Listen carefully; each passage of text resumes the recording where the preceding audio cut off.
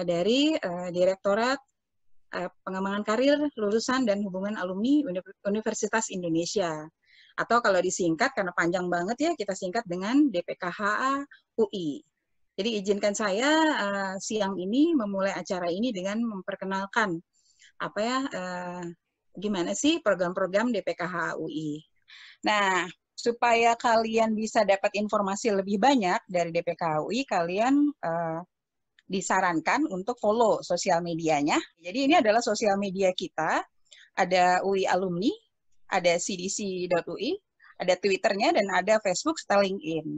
Jadi kalau kalian nggak mau ketinggalan hmm. informasi tentang DPK UI, coba di follow uh, sosial media kita. Jadi uh, eh, DPK UI itu kita punya empat subdirektorat ya. Jadi kita punya empat subdirektorat. Jadi kalau kalian kenal dengan Career Development Center eh, UI itu adanya di bawah DPK UI. Jadi DPK UI itu punya empat subdirektorat yaitu subdirektorat pengembangan karir, Subdirektorat eh, eh, Hubungan Industri dan Pemagangan, kemudian Subdirektorat Hubungan Alumni, dan yang terakhir adalah Subdirektorat Tracer Study. Apa aja sih gitu ya program-program dari eh, DPK HAUI ini? Jadi kalau kalian eh, eh, ikut seminar gitu ya, seminar karir atau karir coaching, itu adalah tugas dari eh, kita untuk mengembangkan karir dari calon lulusannya uh, Universitas Indonesia, terutama untuk alumni baru dan mahasiswa-mahasiswa semester akhir nih untuk menyiapkan karirnya ke depan. Kemudian kita juga menyelenggarakan kegiatan intensif dan magang yang berkolaborasi dengan company, gitu ya. Terus kita juga merupakan uh, subdirektorat yang uh, punya gitu ya uh, hubungan baik dengan alumni. Jadi kalau nanti kalian lulus dari Universitas Indonesia, kalian akan tetap gitu ya bisa keep in touch dengan kampus nih melalui hubungan alumni gitu. Oke ya. Terus uh, kita juga melaksanakan uh, namanya tracer study nih. Jadi namanya uh, survei untuk kepada lulusan uh, UI gitu ya untuk ditanya gitu tentang kepuasan mereka terhadap UI, tentang kompetensi mereka gitu ya, tentang kehidupan mereka di dunia kerja gitu. Dan kita juga punya satu misi yang sangat mulia nih ya. Jadi kita uh, juga ditugaskan untuk uh, sebagai direktorat yang mengumpulkan dana abadi atau disebut sebagai endowment fund Universitas Indonesia gitu. Jadi uh, itu program-program dari DPKUI. Terus uh, boleh next, Mas Mahmud. Ya, kita punya sosial media ya. Jadi punya sosial media yang harus kalian uh, cek gitu ya dan punya website gitu. Jadi kita punya media untuk supaya kalian tetap bisa update apa aja sih kegiatan dari DPKH UI Universitas Indonesia. Kita kalian bisa cek dari website kita. Jadi kita punya dua website yaitu website alumni.ui.acid. Nah ini adalah website yang umum ya yang yang menjelaskan tentang eh, program-program uh, dari DPKH UI. Terus kalau kalian uh, ingin cari apa tadi ya uh, intensif dan lowongan pekerjaan kita punya namanya job portal yaitu cdc.ui.ac.id. Jadi kalian harus kunjungin ini kalau kalian tadi berminat untuk uh, mencari intensif atau tadi lowongan pekerjaan dari universitas uh, dari company-company yang oke okay, gitu. Oke, okay, next kita juga punya sosial media nih ya. Jadi kita mengikuti perkembangan sosial media. Kita punya Instagram. Kalian harus follow semuanya nih ya, gitu ya. Jadi kita punya empat Instagram. Kita punya uh, dari DPK UI itu yang umum uh, programnya ada di situ. Kita juga punya uh, Instagram khusus untuk hubungan alumni. Jadi kalau kalian pengen lihat gimana sih uh, kancahnya alumni UI gitu ya, apa aja sih kegiatan alumni itu bisa ikut di mengikuti UI alumni Instagramnya. Kemudian kita punya loh majalah alumni ya, jadi kalau pengen gitu ya tahu tentang alumni, terus program-programnya gitu ya, itu kita punya majalah alumni dulu kita sebarkan itu hard copy-nya, tapi sekarang kita punya uh, edisi uh, magazine-nya. Jadi kalau kalian mau download ini free, gratis gitu ya. Kalian bisa follow Instagramnya majalah alumni.ui. Dan terakhir, acara ini nih biasanya akan kita sebar melalui apa sih gitu ya. IG yang paling banyak followernya adalah IG-nya CDC UI nih gitu ya. Jadi kalau kalian pengen tahu kapan nih seminar ada lagi, terus ada internship nggak, ada karir rekrutmen nggak, itu kalian wajib follow uh, Instagramnya UI. Oke, sosial media apa lagi sih yang kita punya? Boleh next, Mas Mahmud. Ya, kita juga punya Facebook ya, gitu. Jadi pokoknya kita akan ada di media-media yang uh, apa alumni dan uh, mahasiswa UI itu punya gitu ya. Kita ada Facebook, dua Facebook, satu Facebook untuk Career Development Center dan satu Facebook untuk yang tadi untuk tracer study kepada lulusan Universitas Indonesia. Oke. Kemudian apalagi ya uh, sosial media harus kalian follow? Boleh next. Ini kita dalam rangka mensosialisasikan sosial media ya, karena uh, ini harus harus uh, sosialisasi harus matang banget gitu ya di sosmed. Nah Twitter nih untuk yang main Twitter, gitu. Jadi kalau kalian nggak main Facebook, mainnya di Twitter, kita juga ada di Twitter ya. Jadi untuk CDC, Twitter yang paling banyak followernya itu adalah CDC UI Karir, kemudian ada alumni UI, ada juga tracer study, dan yang umum ada DPKH UI. Nah, kemudian next yang paling baru, kita ada di mana ya? Boleh Mas Mahmud di next? Nah, kita ada di LinkedIn gitu ya. Jadi kalau untuk yang lebih update tentang lowongan gitu ya, kita ada di LinkedIn. Kalian harus uh, add kita gitu ya, supaya kalian ke link gitu sebagai uh, alumni UI. Dan terakhir uh, ada YouTube nih. Jadi kita punya YouTube, tapi YouTube namanya DPKHUI. Jadi kalau teman-teman kalian yang nggak sempat datang gitu ya, atau nggak nggak dapat quote gitu ya, nggak dapat seat gitu untuk uh, masuk ke webinar kita, jangan khawatir karena uh, semuanya akan kita upload di YouTube. Jadi YouTube-nya DPKHUI gitu. Jadi itu ya, jadi pengantar dari saya uh, uh, pengen menggambarkan tentang program dari Direktorat Pengembangan Karir Lulusan dan Itu nggak ada yang nggak aman ya, nggak ada yang. Eh. Kemudian uh, di uh, di YouTube ya yang terakhir ini. Oke, terima kasih uh, Mas Mahmud. Uh, ini ringkasannya ya, jadi semuanya harus di follow, jangan sampai nggak follow gitu ya. Kita Dr. Irzan Nurman, selamat siang Dr. Irzan. Ya, selamat siang adik-adik semuanya. Ya. Oke, okay. maaf saya masih pakai masker nih karena memang masih prak lagi praktek. Sebentar ya. Baik dok. Okay. Sebelumnya akan saya bacakan dulu CV dari Dr. Irza Norman.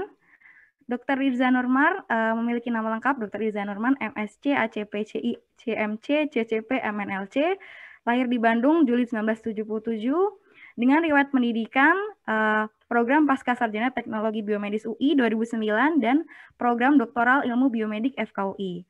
Untuk riwayat pendidikan informal dan kompetensi, uh, Dr. Irzan ini menjadi uh, juara di International Certified Acupuncture Expert Practitioner at International Institute Acupuncture WHO di Senate Clinic Nanjing University of TCM tahun 2010 kemudian mendapat lisensi dari International License Practitioner NLP Society USA 2010, kemudian International License NLP Master Practitioner NLP Society USA 2011, kemudian Certified Instructor of Hypnotherapy Indonesian Board of Hypnotherapists tahun 2011, kemudian Certified Mind Slim Coach Mind Slim Coach Association tahun 2012, dan Certified Erickson Coach Practitioner Accredited Coach Credential International Coach Federation tahun 2014.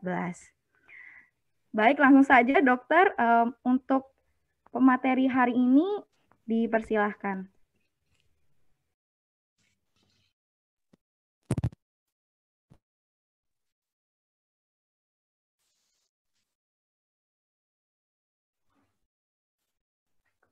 Halo, saya sudah bisa mulai? Ya, silahkan dokter. Uh, baik, baik. Oke, okay, bismillahirrahmanirrahim. Suara saya cukup jelas terdengar ya? Iya, sudah cukup jelas, dok. Ah, iya, jadi nggak apa-apa ya saya pakai masker aja ya, karena memang kondisinya masih di uh, tempat di klinik ya, jadi lebih aman saya juga pakai masker. Assalamualaikum warahmatullahi wabarakatuh. Salam sejahtera untuk kita semuanya. Selamat siang adik-adik tercinta semuanya. Dari FKW semua kan ini kan ya untuk hari ini ya. Baik, Terima kasih banyak. Uh, hormat saya juga untuk pertamanya dari CDC dan juga teman-teman dari BEM yang sudah berkenan untuk memberikan kesempatan kepada saya untuk berbagi pada adik-adik semuanya pada siang hari ini. dan juga terima kasih kepada seluruh uh, adik-adik calon rekan sejawat semuanya yang pada siang hari ini hadir untuk menyimak uh, sesi berbagi ya saya bilang ya ini sesi berbagi uh, yang mungkin mudah-mudahan bisa bermanfaat dalam uh, menunjang uh, aktivitas dan kerja kita sebagai seorang dokter ya. Di sini juga ada Mas Renaldi ya yang kemarin juga sempat ikut modul. Kita cukup lama ya kemarin ya di modul untuk belajar banyak mengenai entrepreneurship ya. Uh, saya kira ini sebuah hal yang sangat baik di mana uh, complementary skill seperti ini sebenarnya penting dan sangat bisa membantu aktivitas kita ke depan untuk menjalani profesi kita sebagai seorang dokter dengan nyaman dan mudah-mudahan juga memberikan leverage yang uh, lebih baik bagi kehidupan kita ke depan. Ya, baik. Saya sudah diberikan akses untuk share screen ya. Baik, saya saya, saya izin share screen dulu ya, mohon izin. Jadi mungkin nanti saya saya akan menyampaikan dulu materi, baru setelahnya mungkin kalau ada adik-adik yang ingin bertanya, nanti kita siapkan waktu dan jawab. Baik, uh, Bentar, saya siapin dulu.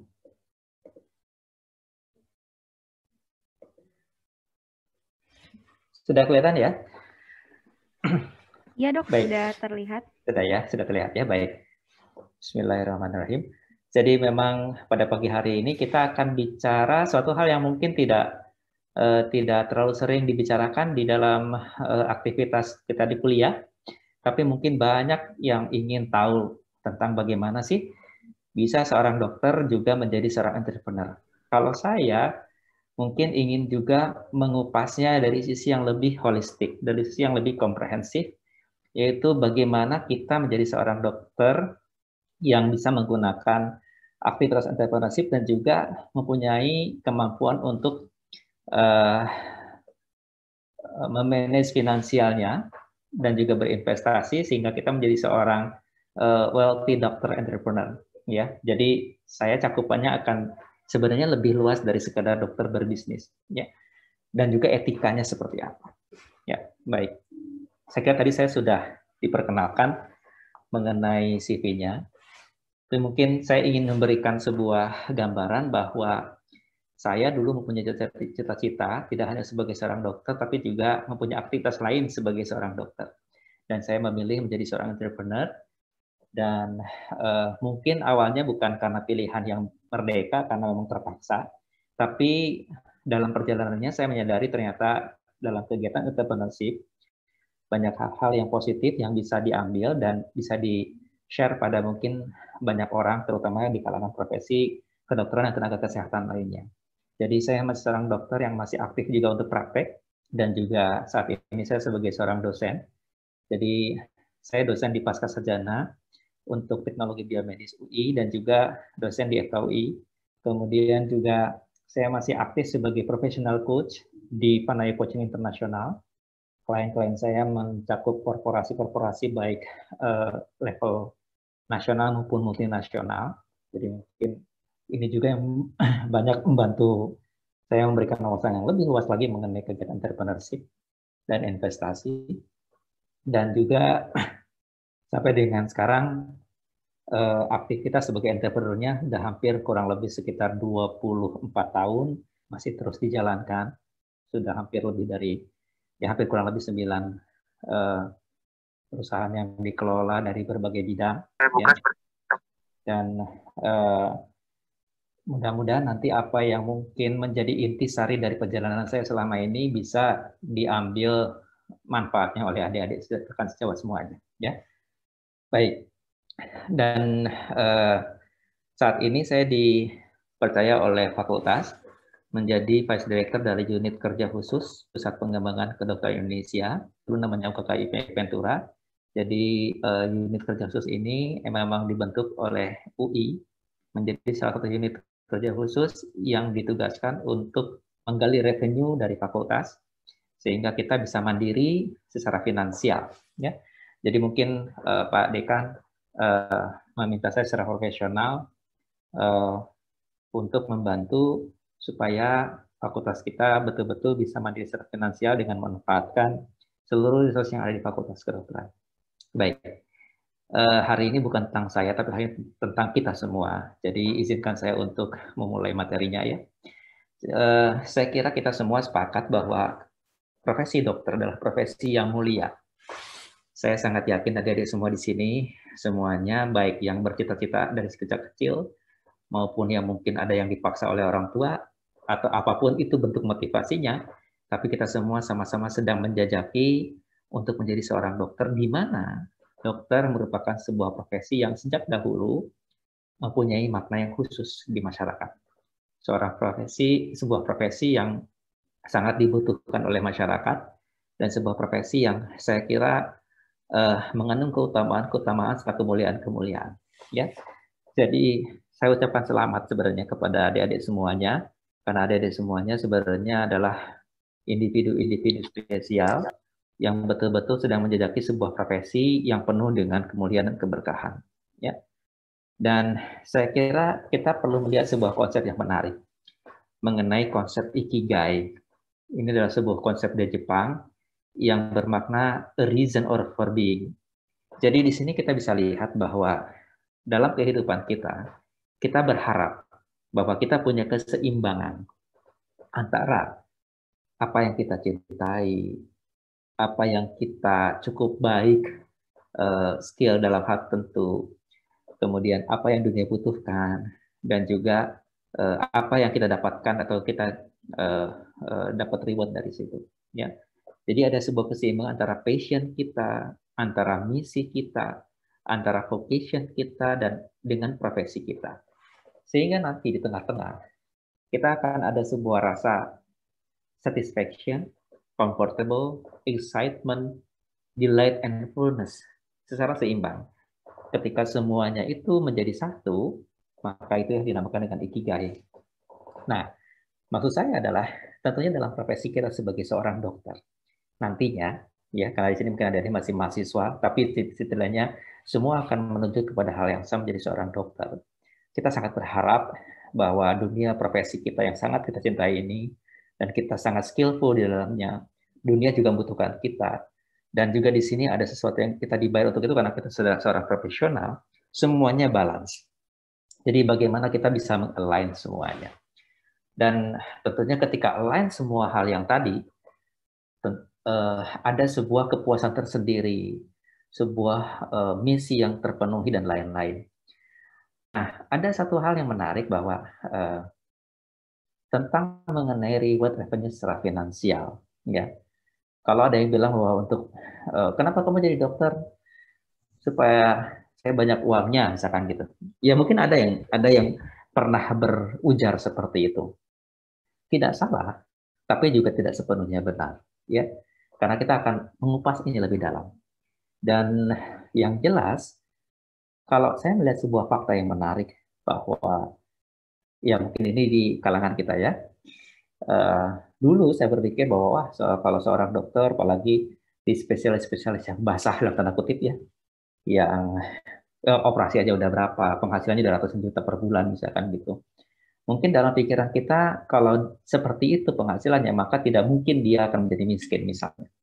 Tapi ada sebuah fakta yang perlu saya kemukakan di sini menarik sekali bahwa uh, waktu dalam perjalanan saya sebagai mahasiswa, saya melihat dan dengar sendiri dan uh, uh, bersama dengan saksi mata juga ada beberapa konsulen-konsulen kita yang terhormat yang sangat kita hargai dan sangat kita hormati yang sudah sampai ke levelnya juga guru besar dan juga mungkin uh, spesialis juga di bidang yang tentunya sangat banyak didambakan orang di dunia kedokteran. Tapi di akhir-akhir masa profesinya, uh, mengalami dan tanda kutip uh, kemunduran finansial yang sangat uh, drastis. Bahkan untuk bayar listrik rumahnya saja terpaksa harus uh, dibantu oleh para residennya. Jadi sebuah hal yang sangat menyedihkan. Ada juga seorang guru besar di satu departemen tertentu, saya nggak perlu sebut juga, yang bersangkutan kena CA, nasofaring, dulu mungkin tidak terlalu care soal asuransi, Akhirnya apa? Seluruh hartanya habis yang puluhan tahun dikumpulkan praktek sebagai seorang dokter dan sebagai seorang guru besar habis untuk pengobatan dan tak tersisa apa pun ya. Dan ini sebuah pengalaman yang sangat menyedihkan ya. Dan saya berharap bahwa horizon yang baru yang akan kita buka bisa memberikan gambaran yang berbeda bahwa sebenarnya kita sebagai seorang dokter bisa mempersiapkan masa depan kita secara finansial dengan lebih baik ya. Oke, jadi di awal tentunya kita harus tahu persis goalnya. What do you want to achieve?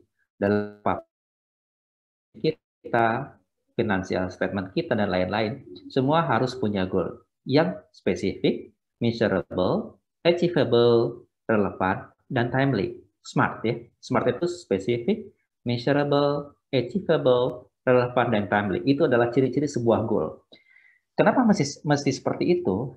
Ya, adik-adik sendiri kan sekarang kalau misalnya mau pergi ke mana pun, tentunya harus menentukan tujuan secara spesifik, bukan? Ya, misalnya kita pakai aplikasi GoPay, eh GoPay, Grab atau Gojek. Kalau kita nggak ngasih tahu kita mau ke mana dengan spesifik, nggak akan dianterin, gitu kan? Ya sama dengan juga aktivitas kehidupan kita terkait dengan apa pun itu ya. Di sini misalnya kita mau kehidupan dalam profesi kita, misalnya Anda menjadi spesialis apa, Anda pengen punya jenjang apa yang akan dicapai, termasuk kehidupan finansial harus di state dengan sangat spesifik gitu. Jadi kita harus tahu what do you want to achieve supaya apa? Supaya kita tahu sudah seberapa dekat kita dengan goalnya kita. Bagaimana kita tahu kita seberapa dekat dengan, dengan goal kita kalau kita sendiri nggak tahu goalnya mau apa gitu ya.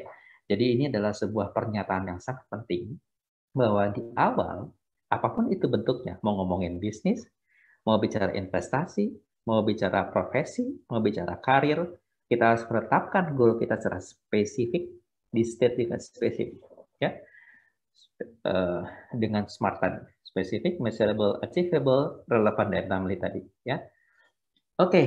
banyak yang bilang saya pengen jadi orang kaya misalnya jadi kalau saya jadi dokter kira-kira berapa lama saya mesti praktek 24 jam untuk bisa punya saldo sebanyak ini misalnya ya kalau kaya itu diidentikan dengan banyaknya uang. Kadang-kadang kan banyak yang saya suka tanya, kamu pengen apa? Pengen banyak uang, berapa? Kan harus ditanya berapa, ya. Dan kalau nggak bisa baca angka ini, bagaimana bisa dapat uangnya? Kan? Misalkan gitu. Silakan sebutkan dulu eja ini angkanya berapa, ya. Tapi yang jelas, kalaupun misalnya kita bisa mengeja, secara strategis, apakah uh, ini bisa dihasilkan dari kegiatan profesi seorang dokter? Pun tidak, ya.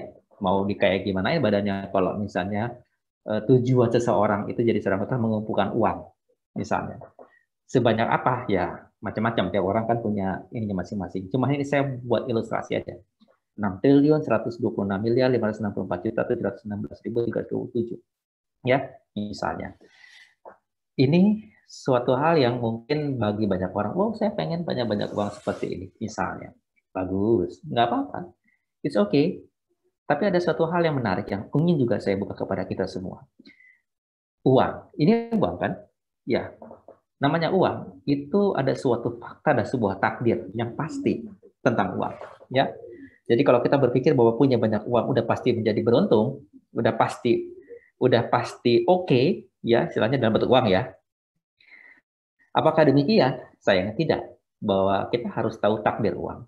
Apa itu takdir uang? Adalah ini, ya satu, dia adalah sebuah benda. Benda apa? Benda yang punya sifat. Sifatnya apa? Ada tiga. Satu, dia punya sifat pasti turun.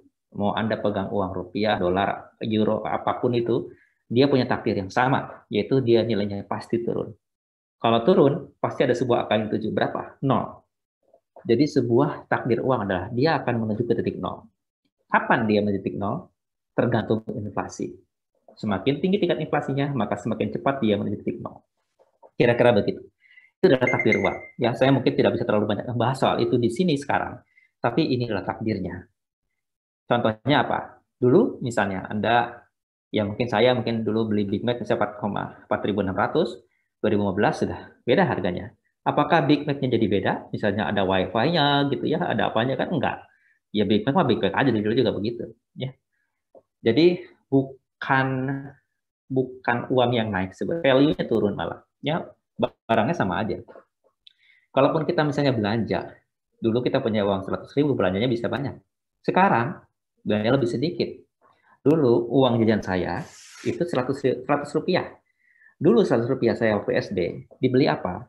Saya bisa beli bubur, saya bisa beli limun, saya bisa beli kerupuk, dan saya merasa 100 rupiah itu membuat dunia saya sangat bermakna dalam satu hari itu. Sekarang, 100 rupiah saya bisa jadi beli apa? Dikasih tukang parkir juga saya dipukulin tukang parkir, jangan-jangan dilempar lagi ya. gitu. Jadi nilai 100-nya udah nggak ada. Udah nol. gitu. Kurang lebih seperti itu maksudnya. ya. Bahkan pada beberapa negara tertentu, ini di Venezuela misalnya, di Bolivia, ini uh, kejadiannya adalah sekarang, beberapa waktu yang lalu, bukan dua tahun yang lalu ya. Jadi kalau misalnya nih, kita sebagai seorang dokter, ngumpulin uang puluhan tahun, uang nih bentuknya ya, dan akhirnya seperti kejadian di apa di negara ini terjadi suatu kekacauan sehingga inflasinya tak terkendali. Akibatnya apa? Antara tumpukan uang dengan barang sudah tidak sebanding lagi. Ya, bahkan mungkin uang yang dikumpulkan puluhan tahun tadi jadi tidak bermakna. Bahkan cuma bisa beli roti jangan-jangan. Gitu. Kurang lebih seperti itu. Itu gilanya kalau terjadi inflasi ya. Jadi inflasi yang tak terkendali bisa seperti ini. Alhamdulillah negara kita inflasinya nggak pernah kayak gini banget ya. Tapi kita nggak pernah tahu kan? Puluhan tahun dari sini nggak ngedoain. Sama sekali tidak ada yang ngedoain begitu.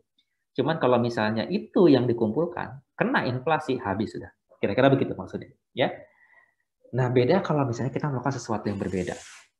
Kita kumpulkan uang kita dari profesi kita, kemudian kita siapkan atau kita alihkan, konversikan dia dalam bentuk sesuatu yang sifatnya investasi. Di mana investasi akan mengalahkan inflasi dan nilainya itu akan menjadi lebih tinggi. Itu konsepnya. Jadi bukan mengumpulkan uang atau menabung uang. Ini yang paling penting dulu di awal, ya. Jadi tujuannya harus clear dulu filosofinya seperti ini sebenarnya. Bukan soal hanya langsung berbisnis atau investasi. Tidak seperti itu ya. Jadi ini uh, awalnya adalah dari sini dulu. Nah, saya ingin memberikan kepada adik-adik semua mengenai sebuah konsep yang perlu kita ketahui bersama. Ini saya sering bawakan di uh, banyak program. Saya udah ribuan orang kali ya dari 2012, 2013 as a coach uh, for retirement program dari perusahaan-perusahaan multinasional dan perusahaan-perusahaan nasional hampir sebagian besar dari mereka semuanya ketika pensiun menyesal. Kenapa? Karena mereka tidak mendapatkan keilmuan mengenai bagaimana memanage uang mereka dengan baik. Itu dia yang mereka sesali. Saya pernah juga menjadi coach profesional untuk Freeport misalnya. Dan di Freeport saya tanya, sudah berapa kilogram emas yang Anda siapkan untuk Anda bawa pulang ke rumah setelah pensiun? Anda tahu jawabannya apa? Tidak ada satupun. Ya, pada mereka adalah berdiri, duduk, bekerja di sebuah gunung emas paling banyak di dunia. Ya. Padahal saya katakan begini, mereka gaji untuk gaji seorang supir truknya saja, gaji supir truknya 30 juta. Itu gaji supir ya, jangan tanya gaji yang lain. Jadi kalau 30 juta, yang sudah cukup lama itu nilainya. Kalau misalnya dikumpulkan saja, misalnya 10 tahun menjelang pensiun, misalnya nih.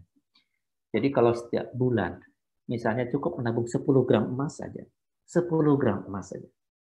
10 gram tiap bulan, maka dalam setahun ada 120 gram. Kemudian setelah 10 tahun dia akan bawa pulang pada saat pensiun 1,2 kilogram emas. Yang ibaratnya akan sangat membantu dia ketika dia retirement atau pensiun. Kira-kira seperti itu. Padahal dari action apa? Cukup 10 gram emas saja setiap bulan dan mereka pasti mampu mereka punya penghasilan di atas rata-rata. Tapi apa yang terjadi?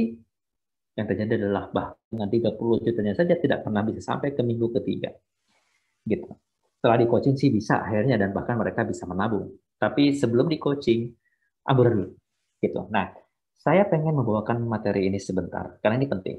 Anda harus tahu, adik-adik harus tahu bahwa ada tangga kemapanan finansial yang perlu kita ketahui. Ada rawan, aman, nyaman, dan mapan. Rawan itu adalah kalau kita bebas utang buruk, dan kita punya penghasilan, penghasilan aktif yang besarnya bisa memenuhi seluruh kebutuhan dasar kita selama satu bulan. Penghasilan aktif artinya adalah penghasilan yang Anda tukar antara kinerja kita dengan waktu. Itu penghasilan aktif. Dokter adalah penghasilan aktif. Kenapa? Karena kalau kita tidak praktek, kalau kita tidak bekerja, kalau kita tidak operasi, kita nggak dapat uang. Kurang lebih seperti itu. Oh, saya di rumah sakit, saya digaji. Oke, Anda nggak masuk sebulan, kira-kira digaji nggak? Paling berapa lama juga dikeluarin paling gitu.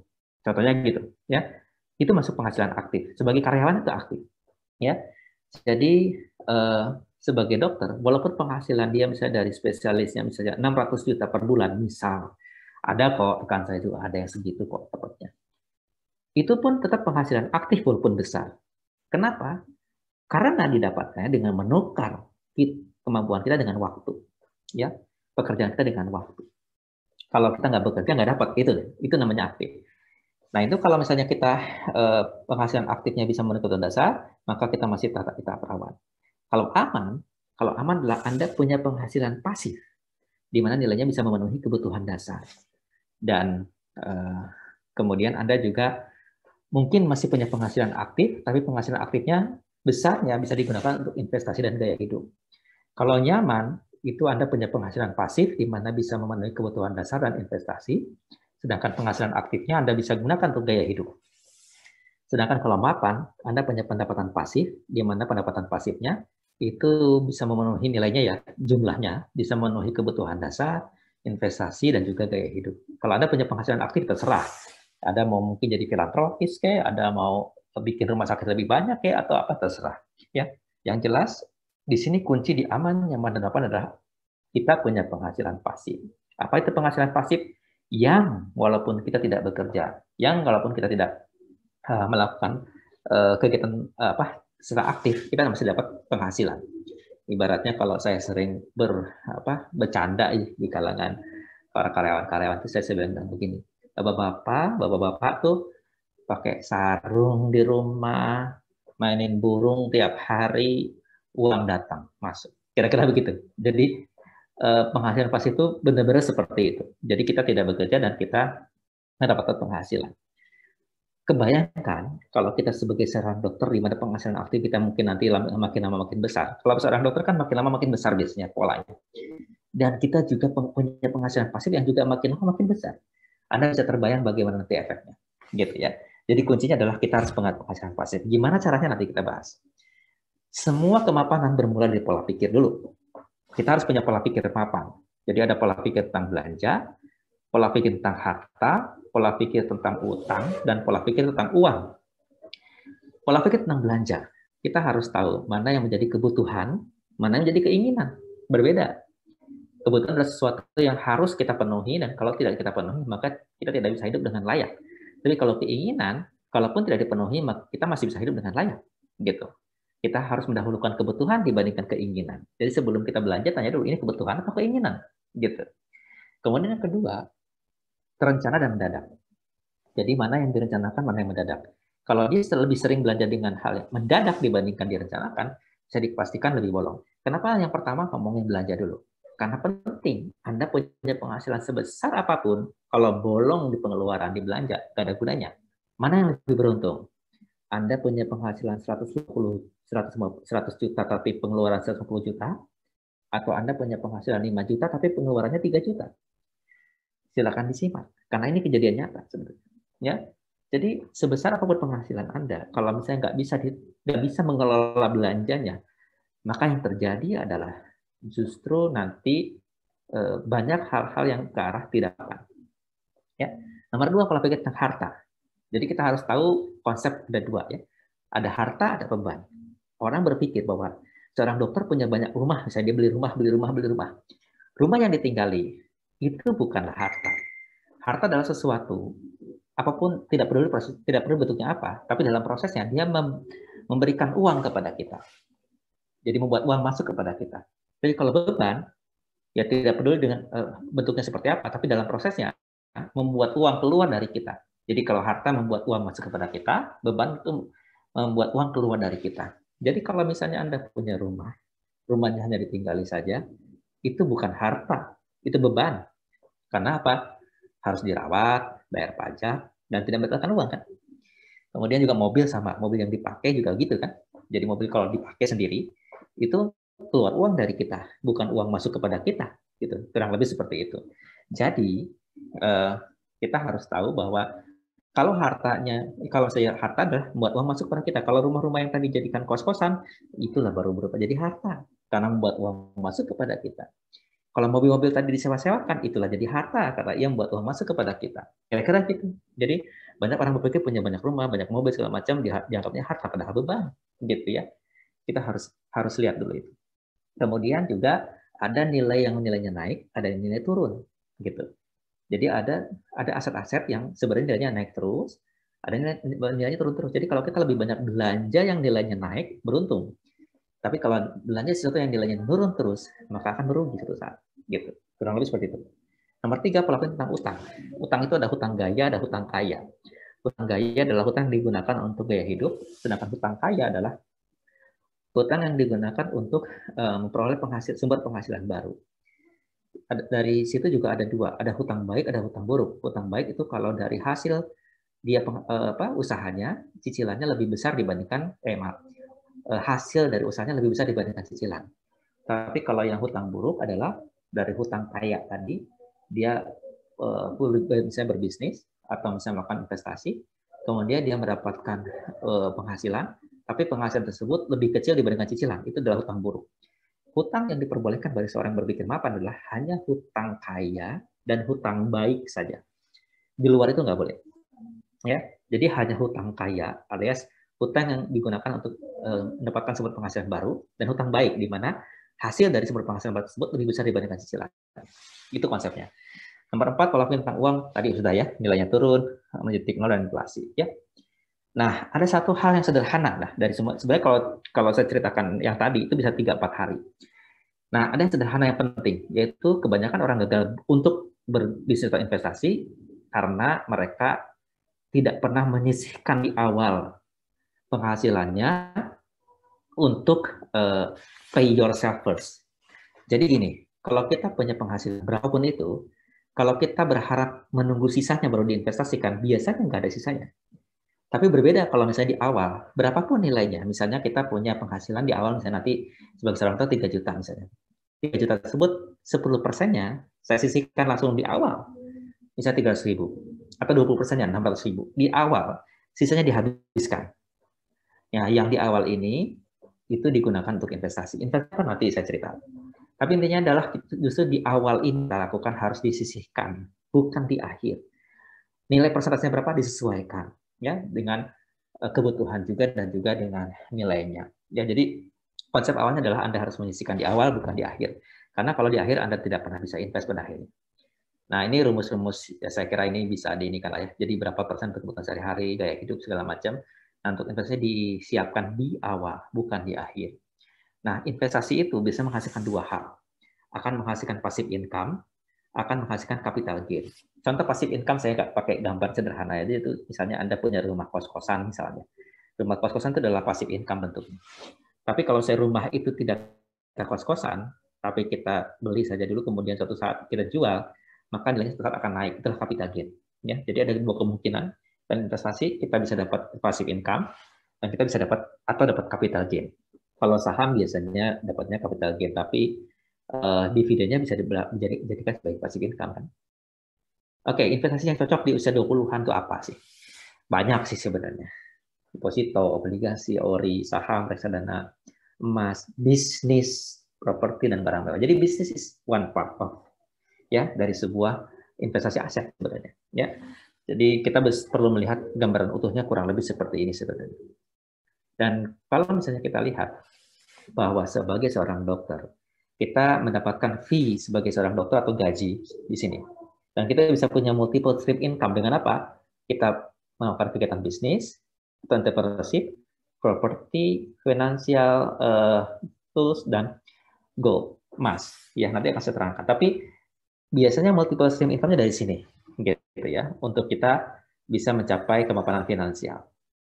Nah, saya ngomongin bisnis sekarang, apalagi kan memang materinya katanya tadi tentang entrepreneurship yang terkait dengan bisnis. Bisnis itu apa? Bisnis itu sederhananya adalah kita menghubungkan masalah dan solusi. Jadi masalah itu adalah kebutuhan pasar, sedangkan solusi atau sumber daya kita itu adalah uh, sumber daya kita itu adalah sebuah solusinya untuk masalah yang tadi, barang dan jasa, dan dari yang punya kebutuhan tadi memberikan timbal balik berupa uang kepada kita, misalnya, ya, atau bentuk-bentuk yang lain juga bisa selain uang. Tapi intinya adalah ini bisnis itu seperti ini, menghubungkan masalah dengan solusi. Jadi kalau Anda pengen berbisnis, Anda harus tahu masalah. Anda harus menemukan masalah dulu, baru Anda bisa berbisnis. Kalau Anda nggak ketemu masalahnya, mana bisa berbisnis kan gitu. Ya. Jadi intinya adalah kalau misalnya kita piawai untuk menemukan masalah dan akhirnya kita menyediakan resources untuk solusinya, kita bisa mulai untuk berbisnis. Ya. Kemudian kalau mau berbisnis semakin besar, maka kita menjadi seorang game changer nantinya. Game changer itu punya champion attitude, growth habit, dan mega mindset. Gojek tidak mungkin menjadi seorang game changer kalau tidak punya tiga ini, misalnya. Ya, jadi banyak yang mengubah banyak permainan di kehidupan kita saat ini dari dunia entrepreneurship karena tiga hal ini. Jadi kalau adik-adik semua ingin mengembangkan entrepreneurship, secara umum adik-adik harus punya champion attitude, punya growth habit, dan juga punya mega mindset. Saya mungkin tidak cukup waktu untuk menyampaikan detail mengenai entrepreneurship, how to, segala macam, tapi adik-adik bisa belajar, silakan belajar. Ikut modul ini kan berminggu-minggu nih belajar kayak ginian tuh, ya. Jadi belajar value proposition kanvas ya. Di sini kita akan melihat value apa yang akan kita hadirkan dalam sebuah uh, uh, apa bisnis kita. Kemudian kita tuangkan dia dalam sebuah bisnis model kanvas ya. Jadi dari sini kita akan juga banyak belajar mengenai bagaimana kita membuat bisnis kita lebih sistematis. Bisnis kita apa sih? Ya, siapa sih target marketnya? Apa sih yang menjadi kebutuhan dan keinginan mereka? Nah, kan penting ya jadi harus customer oriented sebenarnya, bukan produk oriented saja sebenarnya. Yang penting adalah customer oriented. Karena sebagus apa pun produk dan jasa kita, kalau nggak ada yang butuh, percuma kan? Yang paling penting adalah justru customer need-nya apa. Who is your target market and what are their needs? Ya. Kemudian core offer. Apa sih yang mau kita tawarkan kepada mereka? Apa sih sesuatu yang unik yang berbeda dengan kompetitor yang lain? Nah, itu core offer-nya kita. Lewat mana? Channel. Jadi apa channel-channel kunci yang akan kita gunakan untuk bisa mendeliver offering kita, misalkan gitu. Dan untuk itu semua berjalan, Anda pastinya butuh uh, resources, baik yang tangible resources maupun intangible resources serta proses-prosesnya. Ada di capital dan competence. Itu dijabarkan di situ. Dari situ nanti akan Anda dapatkan income income-nya dari baik dari channelnya, baik dari customer-nya, bentuknya apa saja dan nilainya berapa. Nanti akan Anda bandingkan dengan expense atau biaya-biaya yang hadir setiap uh, bulan setiap uh, rutin setiap bulan dan akan ketahuan apakah usaha ini untung atau rugi. Bahkan masih dalam bentuk kanvas, ya. Jadi banyak orang yang sering banget jatuh bangun itu dalam dunia nyata dan kerugiannya kira-kira. Karena bisnis, Anda kalau berbisnis, leverage-nya, income-nya bisa unlimited. Tapi resikonya juga unlimited sebenarnya ya. Kalau nggak disiapin safety netnya. Ini bentuk safety netnya dari sini. Kemudian investment. Eh, berapa eh, modal yang dibutuhkan dan kira-kira kalau kita tahu dengan untung atau ruginya kita kita akan tahu berapa kapan BEP-nya misalnya. Ini sederhana begini. Jadi bahkan adik-adik sekalian hanya dengan melihat kanvas model yang sederhana seperti ini sebuah bisnis yang mungkin tadinya rumit bisa kelihatan lebih sederhana lebih sistematis dan bahkan mungkin jika ada investor yang berniat untuk membantu memberikan permodalan akan lebih tertarik. Kurang lebih seperti itu. Dari sini bisa nanti masuk ke bisnis plan ya. Dari bisnis kanvas modal yang baik akan mudah membuat bisnis plan. Kurang lebih seperti itu. Ini adalah toolsnya. Jadi kalau misalnya anda pengen mengembangkan entrepreneurship even itu kegiatan mahasiswa apa uh, anda sebagai seorang mahasiswa bikinlah ini dulu ini akan membantu anda sangat baik untuk mempersiapkan dan merencanakan bahkan anda akan tahu modalnya perlu berapa ya income-nya kira-kira proyeksi berapa dan bikin proposal lebih mudah. Bisnis pertama saya dulu tahun 96-97 awal itu adalah bisnisnya warnet. Masalahnya apa yang saya temukan? Di Salemba tidak ada satupun warnet tahun 97-96.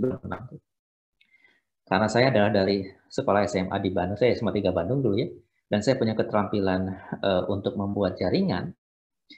Saya memberanikan diri untuk membuat proposal, membuat bisnis warnet. Waktu itu kondisi saya juga nggak punya nggak punya uang karena orang tua saya eh, habis uangnya, habis rumahnya, bahkan semuanya habis karena krisis moneter. Dan saya tidak punya uang sama sekali. Saya eh, waktu itu saya kepepet untuk mikir bisnis karena waktu itu tidak punya sama sekali bekal. Jadi saya kepikiran ada masalah apa yang kira-kira saya bisa bikin bisnisnya. Itu adalah awal mulanya keluar bisnis pertama saya adalah karena punya masalah dulu. Gitu. Kemudian juga ketika tahun 2000-an, eh, saya punya bisnis yang terkait dengan multimedia e-book. Jadi waktu itu masih sangat jarang buku dalam bentuk e-book dan masih sangat jarang materi-materi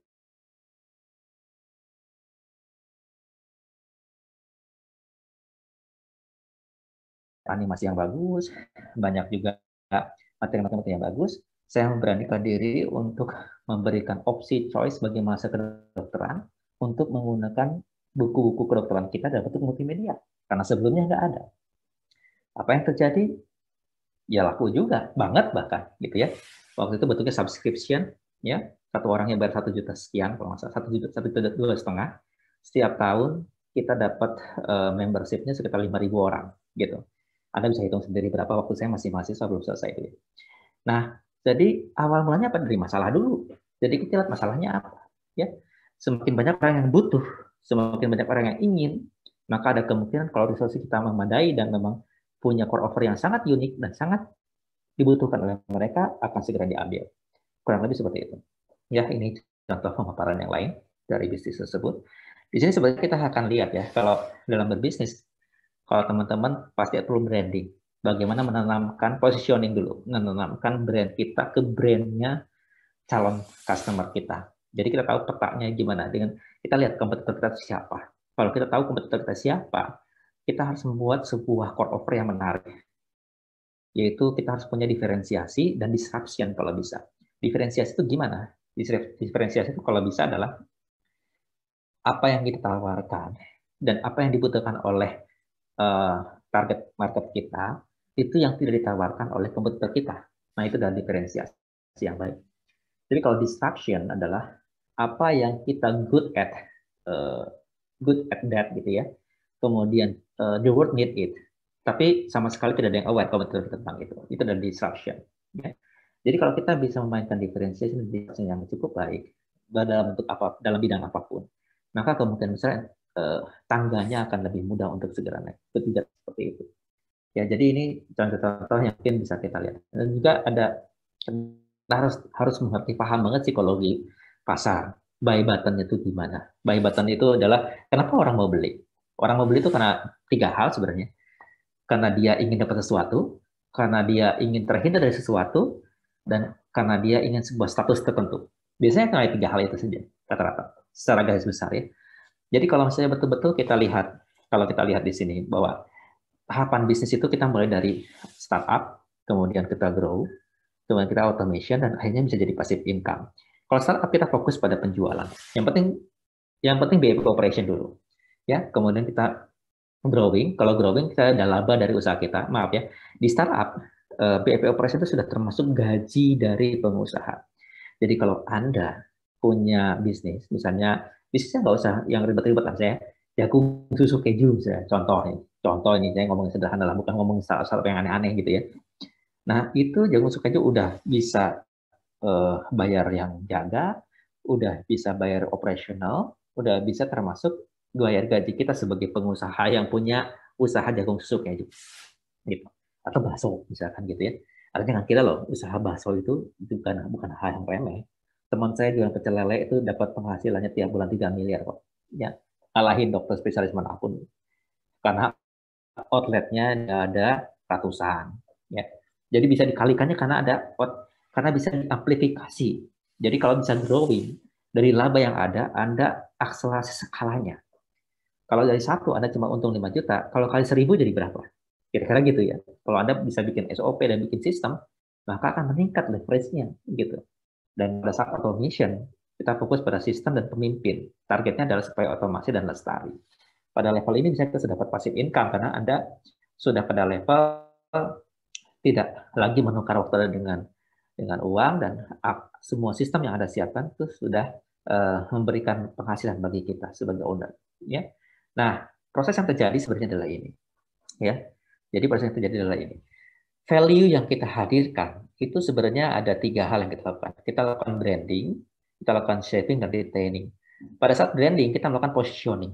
Kita positioning dari brand kita itu sebenarnya gimana sih di pasar. Dan kita mempromot itu. Karena promosi kita sebenarnya kita sedang mengkonversi traffic kita calon tar, calon user kita itu calon target dari target market menjadi user dia convert kita men-saving dia. Jadi dia menjadi calon customer kita. Jadi kita dia menjadi user. Dia convert, kita tambah convertnya supaya banyak. Kita multiply. Kemudian kita dari yang sudah ada kita kita retain, kita jaga, kita serve, kita service sebaik mungkin dan kita ikat dia selama mungkin. Akibatnya apa? Ini muter terus ya. Jadi ini positioning, brand definition, promote. Akibatnya ada prospek yang kita convert menjadi new customer, kita perbanyak, volumenya semakin nambah, kita serve, mereka semakin menjadi sering menjadi customer kita, repeat customer, terikat dengan kita lama-kelamaan dan akhirnya mereka juga memberikan referral. Ya. Jadi ini kurang lebih gambaran secara umum yang terjadi dalam sebuah proses sales. Ya, apa pun bisnisnya yang ini ini juga pasti yang terjadi. Gitu. Anda harus tahu ini dan biasanya dalam proses coaching, biasanya saya akan cek dari satu one part by by part by part. Apa apa saja yang dibutuhkan diperlukan dari setiap segmen dan setiap positioning ini. Eh, maaf, dari setiap uh, langkah-langkah yang di sini. Apakah di positioningnya, di promotingnya, dan di semua akan dicek. Ya kurang lebih seperti itu. Jadi ini uh, biasanya kalau dalam evaluasi saya menggunakan dua kata kunci yang penting. What works well and what to be improved. Jadi kalau kita evaluasi, pastikan dua hal itu bisa dijawab. What works well, apa yang sudah baik selama ini, apa yang excellent. Yang kedua adalah what to be improved, apa yang harus kita sempurnakan. Bukan soal salahnya apa, apa macam itu bukan bahasa yang membangun. What to be improved is better. Hasilnya apa selama kurang lebih 23 tahun yang ini? Ya, jadi ini adalah aktivitas-aktivitas bisnis yang uh, dari mulai yang sederhana, ada yang dalam bentuk klinik juga memang ya, ada bentuk sekolah ya, uh, lembaga edukasi, ada ekspor impor juga ada di bidang transportasi ya, uh, terus and travel, kemudian juga ada di bidang agrobisnis. Uh, ini ada yang pertama, ini dunia IT ya, ini sejak saya masih mahasiswa FKUI, memang saya dikenal sejak mahasiswa orang IT geek banget ya jadi memang urusan-urusan yang terkait IT sampai dengan sekarang itu masih uh, melekat dalam uh, aktivitas usaha usaha kami saat ini. Ya, dan ini adalah manufaktur atau pabrik.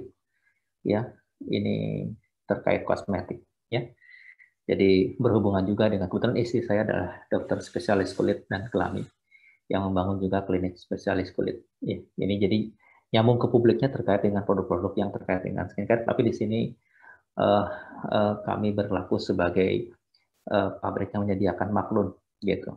Maklun itu artinya gini, kalau anda punya anda punya pengen bikin produk, anda bisa buat di kami dan kami buatkan produknya dari mulai formulasi sampai izin segala macam, anda tinggal jualin kira-kira gitu. Dan kami saat ini punya sekitar 800 produk dan 80 brand lah kurang lebih ya dan uh, itu cukup lumayan banyak juga uh, aktivitasnya. Jadi kurang lebih seperti itu yang dijalankan. Uh, uh, value-nya apa yang hadir? Yaitu stop selling, start helping. Ini yang kurang lebih intisari sebenarnya ya kalau kalau dijabarkan. Kemudian if opportunity doesn't knock, build a door. Ya. Dan if people like you, they will listen to you. But if they trust you, they will do business with you. Jadi yang penting dalam sebuah entrepreneurship, dalam sebuah bisnis adalah trust. Ya. Kalau kita sudah dipercaya sebenarnya, akan lebih mudah untuk membesarkan bisnis kita pada akhirnya. Ya. Nah, selain soal bisnis, saya sebenarnya ingin bicara hal yang juga yang lain. Mungkin tidak semua dari rekan-rekan sekalian yang ada di sini mungkin akan ke bisnis gitu. Bisa jadi, bisa jadi. Tapi ada hal-hal yang lain. Bisa beli bisnis, bila berinvestasi dan memiliki bisnis punya orang lain kan bisa, ya. Kurang lebih seperti itu. Nah, saya bicara satu hal yang penting juga sejak awal yaitu mengapa investasi emas?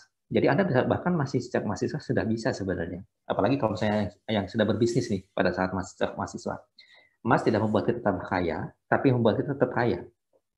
Emas tidak membuat Anda bertambah mapan, tapi membuat Anda tetap mapan. Ya, kalau kita lihat emas, itu bicara jangka panjang. Ya, jadi kalau kita lihat time scope 5 tahun, ini nilainya naiknya sekian, 167,14 persen. Ini dari 2001 sampai 2011 10 tahun ini naiknya 456,53 persen. Ini sebenarnya bukan uh, bukan berarti harga emasnya naik sebenarnya. Kalau kita melihat hakikatnya sebenarnya ini nilai uang yang turun. Anda tahu kalau kita beli kambing zaman Rasulullah abad 6 Masehi itu harganya satu dinar. Satu dinar itu satuan emas ya. Kalau kita beli sekarang satu kambing harganya berapa kalau dibanding dengan dinar? sama satu dinar. Jadi emas berbanding kambing itu sama. Satu kambing, satu dinar. dari zaman abad 6 Masehi sampai dengan sekarang. Jadi kalau bicara uang beda. Kalau kita ber, berkurban tahun 70-an, itu harga kambingnya 7.000 perak. Kalau tahun 2020 sekarang harga kambingnya berapa? Sudah hampir tiga setengah juta, ya. Bukan kambingnya bertambah canggih, bukan. Tapi nilai uang yang turun. Kalau Anda punya uang 100 ribu, kira-kira Anda mau naik? Inflasinya 6,1 persen nih. Ini time frame-nya 2006-2015. Maka tabungan bukan pilihan karena di bawah inflasi, yang lainnya mungkin bisa. Ya, deposito emas, obligasi, dan saham. Itu bisa. Kemudian 2006 sampai 2017, inflasi 5,66 persen rata-rata. Tabungan nggak jadi pilihan, tapi deposito mungkin lah boleh, emas oke, okay, obligasi oke, okay, saham juga oke. Okay. Ini sahamnya yang dimaksud adalah indeks saham, indeks harga saham gabungan ya, bukan saham per masing-masing uh, emiten. Kira-kira seperti itu. Kemudian saya ingin mengingatkan, kalau misalnya kita punya uang tahun 93, bisa beli motor. Tapi kita nggak jadi beli motor. Kita beli saham perusahaan yang ngeluarin motor ini, Astra. Tahun 2011, Anda bahkan uang tadi nggak cuma bisa dipakai bukan cuma buat beli motor, bisa beli mobil, gitu. Bisa seperti itu, ya. Jadi kalau kita lihat Astra, misalnya Anda dari mulai uh, eh, 2000 sampai dengan 2016, maka Anda punya kenaikan 3.903 persen atau 243,95 persen. Bayangkan ya, anda punya uang tahun 2000 sebagai seorang dokter, simpan aja uangnya, maka tahun 2016, 16 tahun kemudian, uang Anda sudah bertumbuh 3.934,14 persen, padahal Anda lagi praktek. Kemudian Anda selain beli barang-barang punya Unilever nih di rumah, Anda juga beli sahamnya misalnya gitu. Dalam 19 tahun, ia naik 1.300 kali lipat. Ya, Anda lihat di sini. Jadi kita lihat 93 sampai 2016. Ya, ini sejak awal mereka masuk ya. Jadi kalau Anda punya uang dan taruh aja di situ dan Anda praktek aja gitu ya sambil sambil tenang-tenang praktek. Ya Anda dapat 868,55 persen per tahun sejak tahun 93. Bank Mandiri selain nabung Anda juga beli sahamnya. Anda dapat 121,37 persen per tahun sejak 2003, misalkan gitu, sampai dengan 2016. Sari roti, selain Anda makan rotinya, Anda beli sahamnya, juga sama, nilainya juga demikian. Nah, kalau kita lihat misalnya gitu, Anda misalnya masukin 2007 sampai 2020, kira-kira kenaikannya gimana? Kalau lewat IHSG itu 13 persen, USD, Anda taruh dalam USD 4 persen, kalau emas US dollar itu 14 persen, emas IDR 30 persen. Wah, enak dibanding saham dari emas. Wait, ini sahamnya saham gabungan semuanya. Kalau kita piawai memilih saham-saham yang mempunyai performa yang baik, ceritanya beda. Contohnya BCA. Kalau BCA Anda punya 86% per tahun dari 2007 ke 2020. BRI 42%, Unilever 37%, emasnya 30%. Lebih tinggi bahkan saham ini ya dibandingkan dengan emas. Kalau kita lihat juga dibandingkan dividen lebih tinggi lagi. Jadi BCA dapat 94%, BRI 62%, Unilever 46%, dan emas 30%. Jadi kalau kita punya knowledge yang lebih untuk berinvestasi, kita sedang asik praktek, uang kita tumbuh, dari hasil praktek kita makin tumbuh uangnya, bukan makin turun nilainya. Ya, kan asik. Gitu. Kira-kira seperti itu. Kalau kita lamsam atau kita dollar cost averaging, ini beda. Lamsam itu artinya kita taruh aja semua sekali di awal, kemudian kita pengapain. Atau kita nabung. Tahun, Pak, misalnya dalam setahun, setahun, setahun, tahun gitu ya. Nah ini contohnya sama-sama 130 juta. 130 juta ditaruh 2007, sampai 2020 dia dapat 94% per tahun ya. Tapi kalau Anda nabung, jadi 10 juta selama 13 tahun, kan ya sama-sama 30 juta ya. 10 juta selama, selama 13 tahun, Anda dapatnya kurang lebih per tahunnya 30 persen. Beda memang dengan lamsam, tapi ini lebih baik dibandingkan Anda habiskan uangnya untuk konsumsi kan? Kira-kira gitu. Jadi eh, ini menunjukkan bahwa investasi, apalagi kalau misalnya kita sebagai dokter, misalnya punya tip Alhamdulillah mudah-mudahan Anda bagus juga uh, performancenya dalam segala, segala macamnya punya uang yang banyak. Jangan jangan simpan dalam bentuk uang. Konversikan ya dalam sebuah bentuk investasi. Bisa saham, bisa emas, bisa properti, bisa Anda beli beli bisnis franchise, bisa macam-macam. Atau atau Anda bangun bisnis lebih gede lagi gitu. Kalau karena kalau kita beli bangun bisnis itu bisa bisa ratusan bahkan ribuan kali lipat lagi bahkan kalau misalnya Anda lakukan dengan baik. Dan ini berhubungan juga dengan kapan Anda mulai. Semakin dini Anda mulai, maka semakin besar yang Anda dapatkan. Ini penting. Jadi kalau saya sekarang mulai di umur 40-an lebih ini, dan Anda mulai di umur 20-an, itu hasilnya beda di ujung di ujung uh, tahun yang sama gitu. Jadi sebenarnya Anda beruntung karena Anda sejak awal sudah dapat mengetahui saya itu menyesal banget kok tahunnya juga telat gitu. Jadi kalau seandainya saya tahu ini sejak Anda uh, saya seperti masa seperti Anda sekarang, I will do my best. Kira-kira gitu. Warren Buffett juga ini sama nih. Uh, dia juga bahkan sekarang di umur dia yang hampir 90 tahun dia malah makin kaya ya. Jadi saya pengen adik-adik sekalian mengubah keadaan dari teman-teman mungkin senior-senior dok yang udah lah gitu ya penghasilan aktifnya dapat tapi pengelolaannya konsumtif beli harta konsumtif habis ini habis nih pasti habis ya tapi kalau kita di sini kalau bisa anda punya penghasilan aktif pengeluarannya masih produktif kalau kan kemudian kita putarkan dia di bisnis emas, properti, keuangan, gitu ya. Eh, kemudian kalaupun berhutang, hutangnya produktif, membuat ini makin susah. Jadi dari gaji dari praktek kita eh, ada properti juga di situ ada finansial eh, toolsnya juga, ada bisnisnya kita, ada emas juga. Bisnis itu bisnis sendiri bisa kita juga beli. Namanya franchise itu bisnis apa beli. Atau Anda berjoint venture dengan teman-teman untuk berbisnis juga sama. Pokoknya ini bisnis ini. Ada penghasilan pasif. Penghasilan pasif itu akhirnya akan jadi, uh, Anda gunakan untuk pengelolaan produktif, muter lagi. Kalau ini beda dengan yang tadi, ini nggak habis-habis, gitu. Kurang lebih seperti itu. Jadi dari buta finansial menjadi lebih cerdas finansial itu maksudnya seperti itu. Ini contoh sedikit contoh saja mengenai algoritma, tapi saya yakin nanti ketika Anda sudah paham, bisa Anda buat sendiri. Tapi kurang lebih inilah uh, bagaimana kita menggunakan kecerdasan uh, tidak hanya di tapi kecerdasan finansial kita dengan baik, memadukan semuanya dengan lebih balance gitu. Kurang lebih seperti itu. Nah, sekarang kita lagi epidemi ini ya. Sebenarnya lagi epidemi itu dalam krisis, kalau kita belajar bahasa Cina itu ada pronunciation we and jadi ada bahaya dan ada opportunity. Sebagai seorang entrepreneur, Anda mau lihat bahayanya doang, atau justru Anda melihat opportunity atau turning point. Itu dia baik sebenarnya bahwa kita dalam sebuah hal apa pun, di dalam kondisi apa pun sebenarnya akan selalu ada dua hal ini. Jadi kalau kita sebagai seorang entrepreneur tadi ingat bisnis itu menghubungkan masalah dengan solusi. Anda lihat ada masalah, Anda solusinya, maka bisnis bisa hadir. Ya. Ya, ini mungkin kalau bicara mengenai krisis ada opportunity-opportunity seperti seperti produk, services, telemedicine segala macam gitu ya.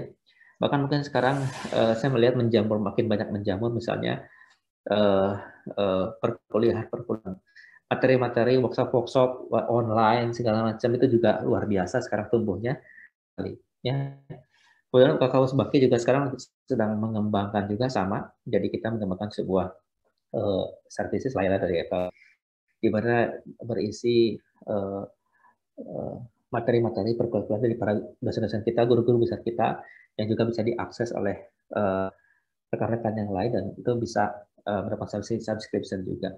Kalau ada uh, rekan-rekan calon pesawat ini yang tertarik untuk uh, membantu kita dalam proyek ini, silakan datang ke UKKSP atau bisa WA saya. Sekalian belajar magang di UKKSP, jadi tahu persis bagaimana menjalankan uh, sebuah roda entrepreneurship, roda bisnis, sekali sekaligus untuk memberikan sumbangsi yang yang signifikan bagi fakultas kedokteran kita yang tercinta ini. Ya. Oke, okay dan yang jelas etik important ya jadi do yang namanya bisa aborsi ngomongin SK palsu segala macam komersialisasi obat-obat golongan uh, macam. Pokoknya kita harus ingat uh, kita ada etik kita ada sumpah Hippocrates ada dengan Geneva dan lain-lain. Dan uh, rekan ingat ini sebagai satu hal yang penting.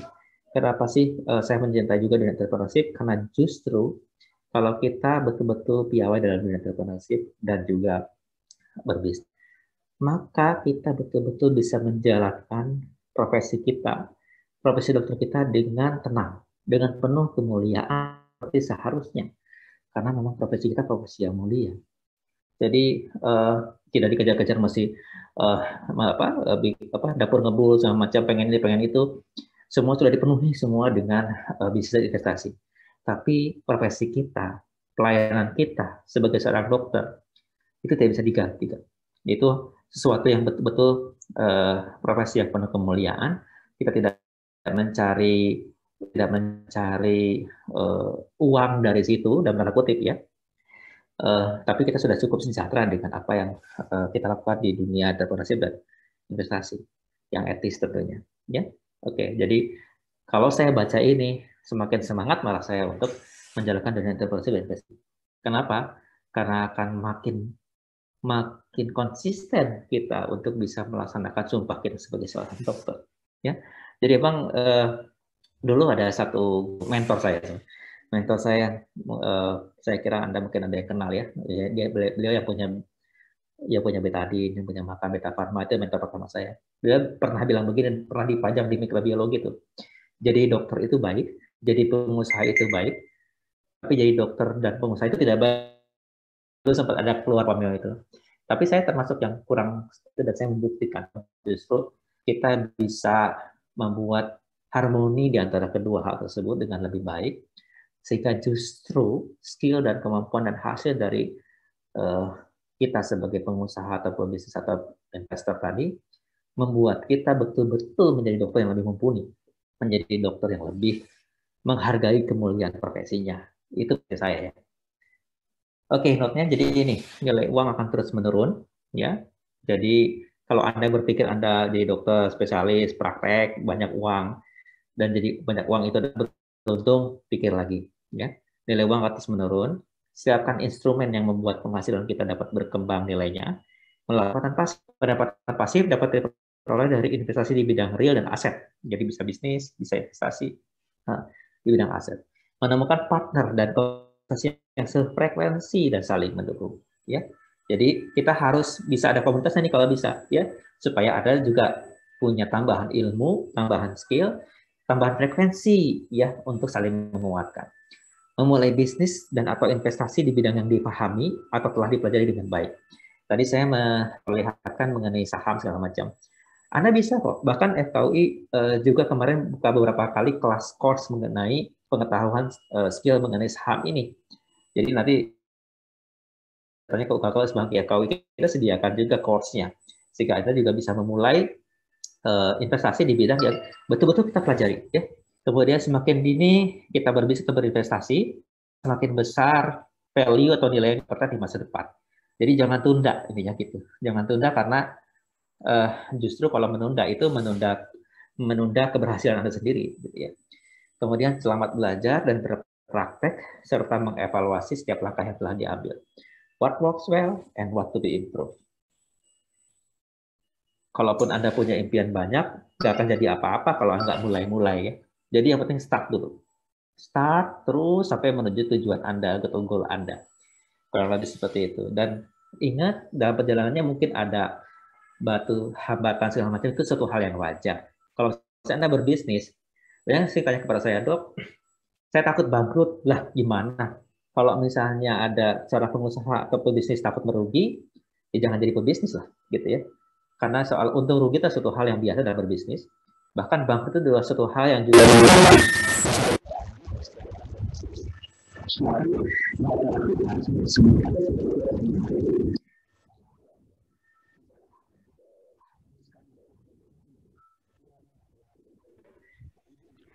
Uh, tes tes, mohon maaf, Dokter Irzan. Ya ya, sudah mau selesai. Saya sudah selesai kok. Jadi tadi uh, suaranya putus-putus dok, mohon maaf. Oh putus-putus. Oke, sekarang sudah lebih jelas? Iya dok, sudah lebih jelas. Terima kasih. Ya, jadi eh, dikatakan katanya habiskan jatah bangkrutmu.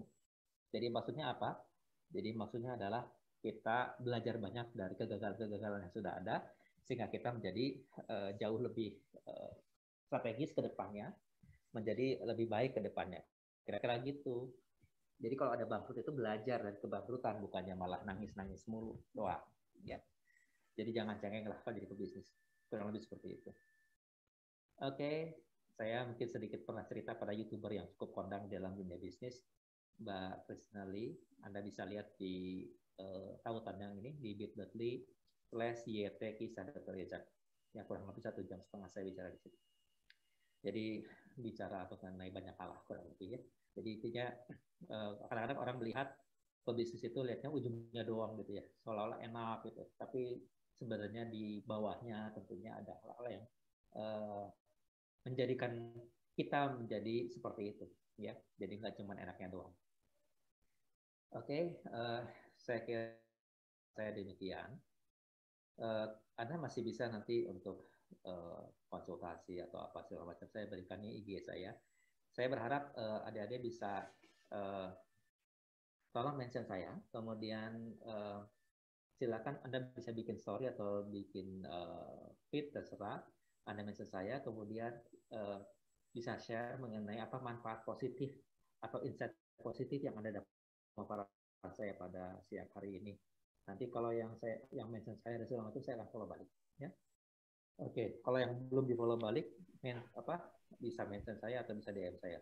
Ya, kalau sudah melakukan hal yang, tadi ya, akan share mengenai apa manfaat positif atau insight yang didapatkan dari materi saya pada siang hari. Oke, uh, tentunya materi yang sekarang sangat singkat ya. Jadi uh, silakan ada isi ini http slash bit apa uh, slash garis piring dua kali bit.ly slash free coaching FKUI 2020. Silakan anda isi uh, informasi informasi yang lebih detail yang terkait dengan mungkin ada training, pelatihan, kursus segala macam. Uh, nanti diberikan oleh tim saya kepada anda semua ya jadi karena waktu nggak cukup ya, saya biasanya kalau memberikan training atau coaching terkait bisnis dan investasi kayak gini, misalnya memakan waktu paling nggak tiga, tiga hari empat malam itu untuk bootcamp ya. Kalau untuk bimbingan-bimbingan yang terkait uh, rutinnya bisa lebih panjang lagi. Jadi silakan isi dulu itu, nanti siapa tahu Anda bisa uh, bisa juga ikut membantu saya dalam banyak proyek ya, sekalian jadi belajar juga gitu ya untuk tahu persis uh, di lapangannya sebenarnya seperti apa. Ya. Jadi uh, saya kira itu pemaparan saya yang mungkin tidak terlalu panjang lebar banget sebenarnya ya, tapi mudah-mudahan uh, dari apa yang disampaikan bisa memberikan insight uh, sebuah persepsi yang baru, pemaparan yang baru bahwa justru dengan skill kita dalam bidang entrepreneurship, dalam bidang investasi, yang tujuannya membentuk kita menjadi seorang yang sejahtera akan membuat atau justru sejalan dengan bagaimana kita menjalani profesi kita, profesi dokter yang sangat kita banggakan ini dengan penuh kemuliaan. Jadi kita bisa betul-betul fokus untuk membantu siapa pun yang membutuhkan tolong kita tanpa kita juga merasa risau dengan kesejahteraan kita. Ya. Jadi saya kira itu uh, mungkin pemaparan dari saya mudah-mudahan bermanfaat. Uh, wabillahi Assalamualaikum warahmatullahi wabarakatuh. Silakan jika ada yang ingin bertanya. Waalaikumsalam warahmatullahi wabarakatuh. Wow, terima kasih banyak Dokter Izan untuk pemaparannya sangat menarik. Tadi apalagi uh, menurut saya yang paling berkesan adalah apabila kita menjalankan bisnis dan investasi, maka kita dapat menjalankan profesi dokter dengan mulia dan lebih konsisten melaksanakan sumpah dokter ya. dengan sepenuhnya. Betul. Itu benar-benar itu sih yang ingin saya tambahkan kepada teman-teman karena jangan sampai anda berpikir kita hanya bicara soal dapat uang dapat uang dapat uang anda semua sudah tahu apa hakikat uang anda semua anda juga tahu ini sebenarnya adalah sebuah tools saja. Anda harus tahu goalnya anda apa. Anda pengen dapat apa anda pengen ke mana. Jadi ini semua sebenarnya tools. Jadi kita betul-betul memanfaatkan skill ini semuanya justru supaya kita bisa betul-betul menjadi dokter yang baik. Wah, itu sangat berkesan, Dok, karena itu adalah insight yang menurut saya pasti uh, sangat bermanfaat untuk teman-teman di sini semuanya. Ya. Baik, uh, teman-teman semua, sekali lagi terima kasih kepada Dr. Irzan untuk pemaparannya. Kita buka sesi tanya jawab. Sejauh ini sudah ada penanya uh, dari Slido. Mungkin boleh dari ya. teman-teman ya. panitia ditayangkan pertanyaannya. Silakan. Saya stop share. Atau mau disebutkan nggak apa? Pertanyaan disebutkan boleh. Uh, akan kami share screen dok, mohon izin. Oh, oke, okay. saya stop share ya. Tadi linknya udah ya, nanti saya. Baik dok, sudah kami okay. catat. Nanti boleh bisa sama teman-temannya linknya.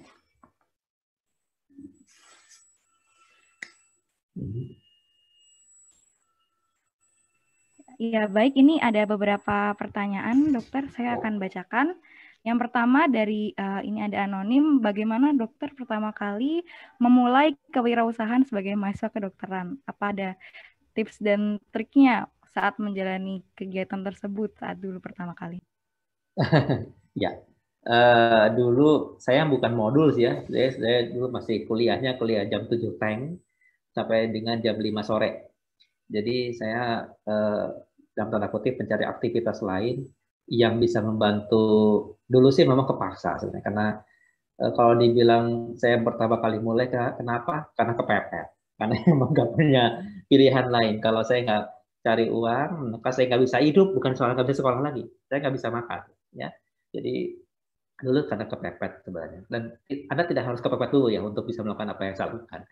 Yang jelas adalah uh, apa pertama kali yang membuat saya bisa berbisnis adalah ketika saya menemukan masalah. Itu balik lagi tadi seperti yang saya paparkan.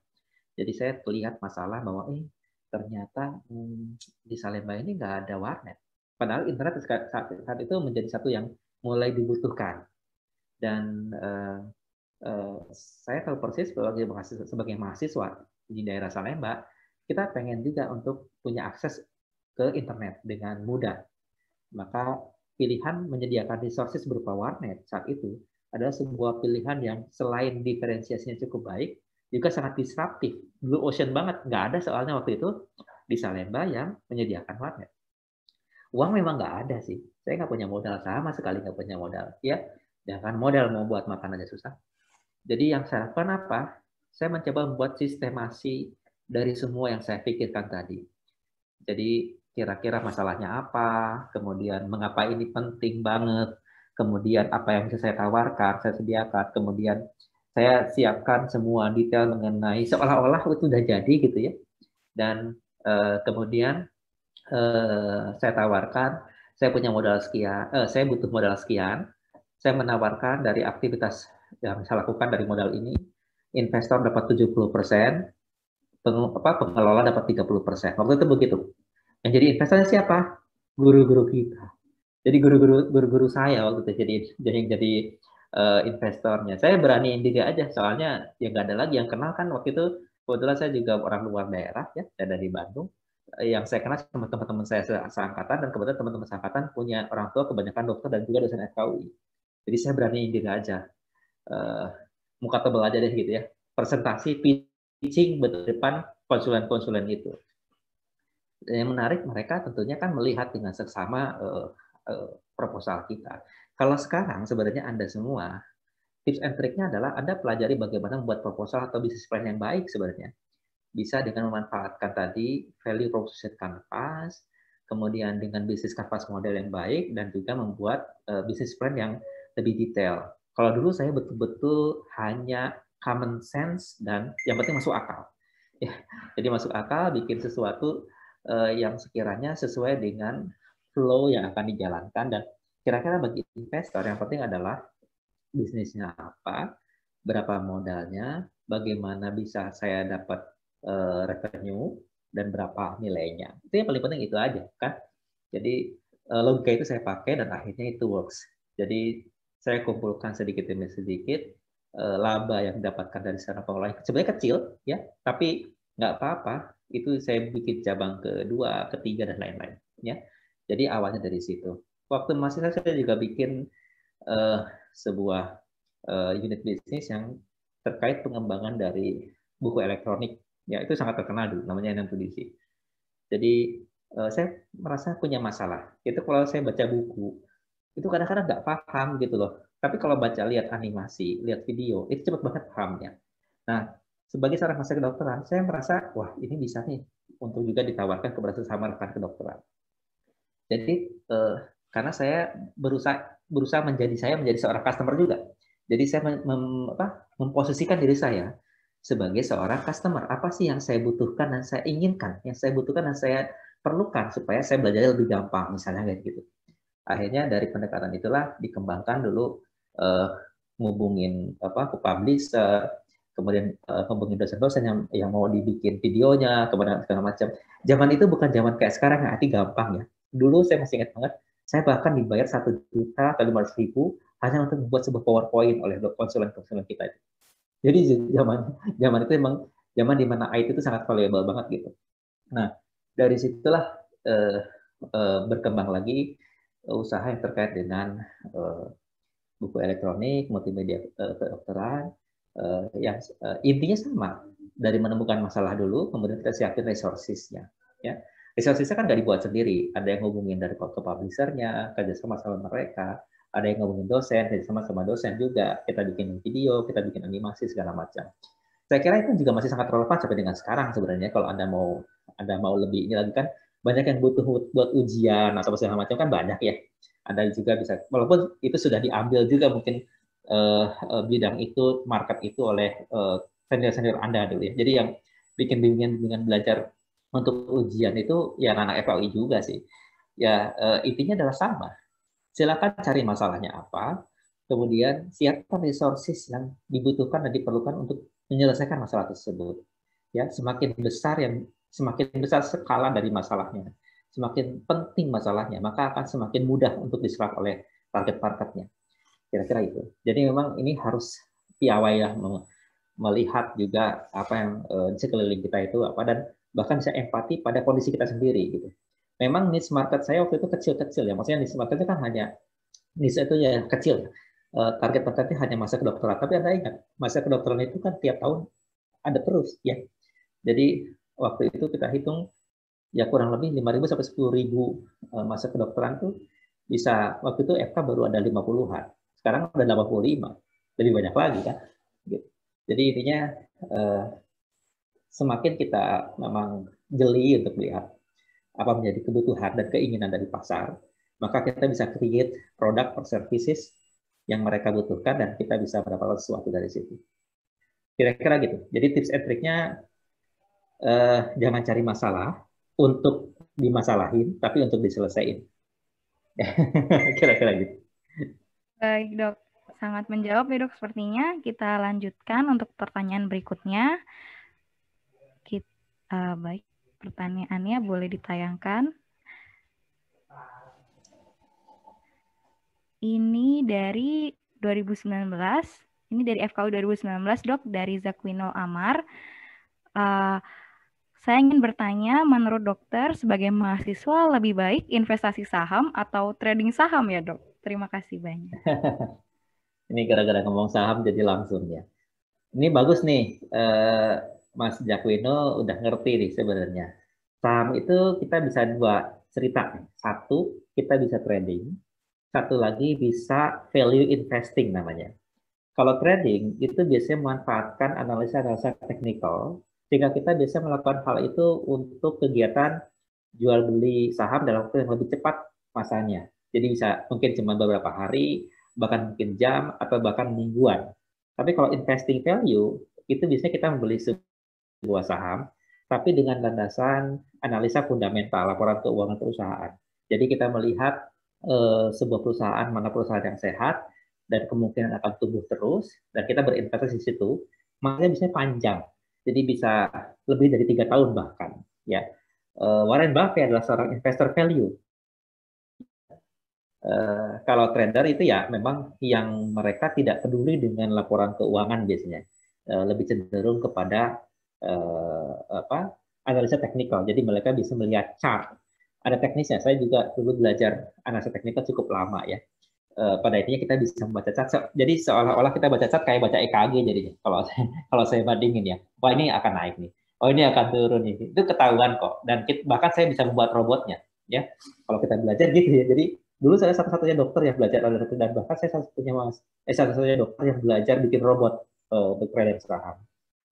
Prinsipnya adalah itu kita uh, ada dua hal itu. Nah kalau anda tanya kepada saya mana yang lebih baik, tergantung goalnya balik lagi. Anda mau goalnya buat apa? Kan kita dalam segala hal harus tahu goalnya apa. Ini goalnya untuk apa?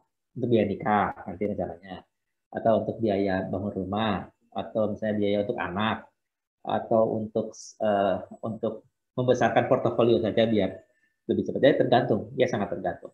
Dalam kondisi pandemi seperti sekarang, uh, terus terang untuk investing saham sedang wait and see. Bahkan seorang investor value kelas dunia setelah Warren Buffett saja sudah memarkirkan cashnya 90% dalam bentuk cash, tidak lagi dalam bentuk aset rekan-rekan saya juga sama demikian. Eh, hampir 70% dari dari asetnya sudah dicairkan dalam bentuk cash karena sedang menunggu kondisi ke apa, saham dunia yang kembali stabil. Karena ada ada ada sebuah prediksi kemungkinan besar ini akan masih terpuruk dalam beberapa waktu. Ya, Jadi mereka akan masuk kembali ketika harga sahamnya di bawah. Ya ini seperti bisa kalau krisis begitu. Karena sekarang krisisnya terjadi krisis yang dipicu oleh krisis kesehatan, memicu krisis ekonomi. Sebenarnya ini kayak semua semua aja. Ini kalau misalnya Desember Desember ini lagi lagi lagi bagus sekarang ini karena window dressing aja ya karena lagi beres-beres biar bagus aja laporannya. Mungkin Januari akan jatuh lagi. Ya. Jadi uh, uh, investor value mungkin saat ini saat ini ya karena kita harus lihat timingnya juga ya saat ini mungkin bukan pilihan yang uh, nyaman karena semua investor value sedang menunggu. Tapi kalau trader saat ini memang uh, uh, kayak kami yang di invest value 20 persennya dimainkan di bukan dimainkan diinvestasikan di trading ya. Jadi uh, apa uh, dengan pergerakan harian yang memang ada resikonya, tapi saat ini uh, setidaknya trading bisa menjadi salah satu opsi untuk uh, berinvestasi dalam dunia saham gitu kurang lebih seperti itu. Jadi uh, pertanyaan ini sebenarnya harus ditanyanya begini, tujuannya Jack Winol dalam berinvestasi ini apa? Itu dulu saya saya tanyanya. Karena ini akan sangat berhubungan gitu. Untuk dipakai kapan ya. Jadi bukan ini. Kita melakukan ini semua bukan untuk mengumpulkan sekedar mengumpulkan keuntungan, bukan. Anda mau pakainya buat apa gitu. Kita itu berbisnis, berinvestasi itu adalah tools untuk mencapai sebuah goal. Goalnya Anda apa? Itu yang penting. Jadi kenapa saya di awal-awal selalu bertanya itu. What do you want to achieve? What is your goal? Dalam investasi juga sama. Anda misalnya Anda uh, berinvestasi emas. Saya harus tanya kepada Anda. Ini untuk apa? Gitu. Penting kan? Jadi kalau saya satu saja emas itu untuk pendidikan anak. Ya. Gini, kalau anak saya mau masuk FK, misalnya masuk FK internasional misalnya contohnya. Berapa sih? Siapin 500 juta misalkan gitu ya. Contoh nih contoh. Dan saya bisa punya emas. Nilainya, misalnya anak saya masih baru baby, baru lahir misalnya. Walaupun anak saya anak saya udah lima ya, yang paling besar udah kuliah ya. Uh, jadi uh, apa? Saya menggunakan cara ini. Jadi waktu mereka baby, saya punya uang senilai uang itu misalnya bisa masuk ke FK saat itu. Misalnya sekarang punya uang nih 500 juta, bisa masuknya nih anak saya masuk ke FK misalnya. Nah, uang tadi saya convert semua langsung menjadi emas. Dan saya simpan, saya tulis namanya anak saya. 18 tahun lagi, ketika dia akan masuk FK, saya tidak akan pernah peduli berapa angkanya, karena emas itu akan membuat dia masuk ke FK. Itu contohnya, gitu. Jadi kita harus lihat dulu. Atau misalnya emas sebagai asuransi. Di sini mungkin ada yang ada yang mungkin pernah dengar bahwa ada orang-orang yang alergi dengan nama asuransi karena berhubungan dengan riba. Dan banyak yang mereka berpikir wah asuransi tidak hal tidak tidak betul-betul halal gitu misalnya. Maka emas bisa jadi masih jadi misalnya anda menabung emas setiap bulan sama seperti anda menabung premi ya tapi anda dalam bentuk emas. Gimana bisa menabung emas? Banyak. Contohnya di pegadaian anda misalnya punya uang 500 ribu nih mau nabung emas anda bawa ke pegadaian anda tabung anda akan dapat saldo saldonya adalah kalau sekarang saldonya adalah setengah gram ya kalau dulu tahun 2018 ketika saya memulai dokter per X pertama, itu satu gram. Semua dulu waktu itu waktu yang dokter per X semua yang dokter per X dikasih tabungan emas. Ya. Jadi biar apa? Biar mau nabung emas gitu. Nah, kalau kita nabung emas seperti itu, nanti ketika misalnya sudah berapa tahun kemudian kan emasnya kan saldonya jadi banyak ya.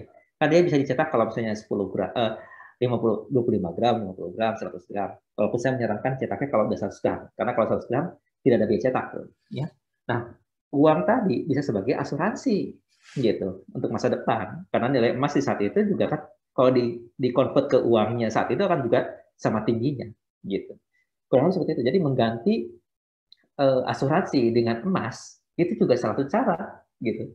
Kira-kira lebih seperti itu? Atau emas sebagai daya lindung nilai misalnya. Jadi misalnya gini aduh saya nggak bawa saya nggak pakai ini nggak pakai pen ya. Kalau saya kalau saya di kelas saya banget melihatnya jadi kalau misalnya uh, kita mau bisnis nih contohnya ya. Saya punya uang 300 juta. Kemudian saya langsung bisnis. Bisnis itu ada dua, dua kemungkinan. Bisa untung bisa rugi. Betul?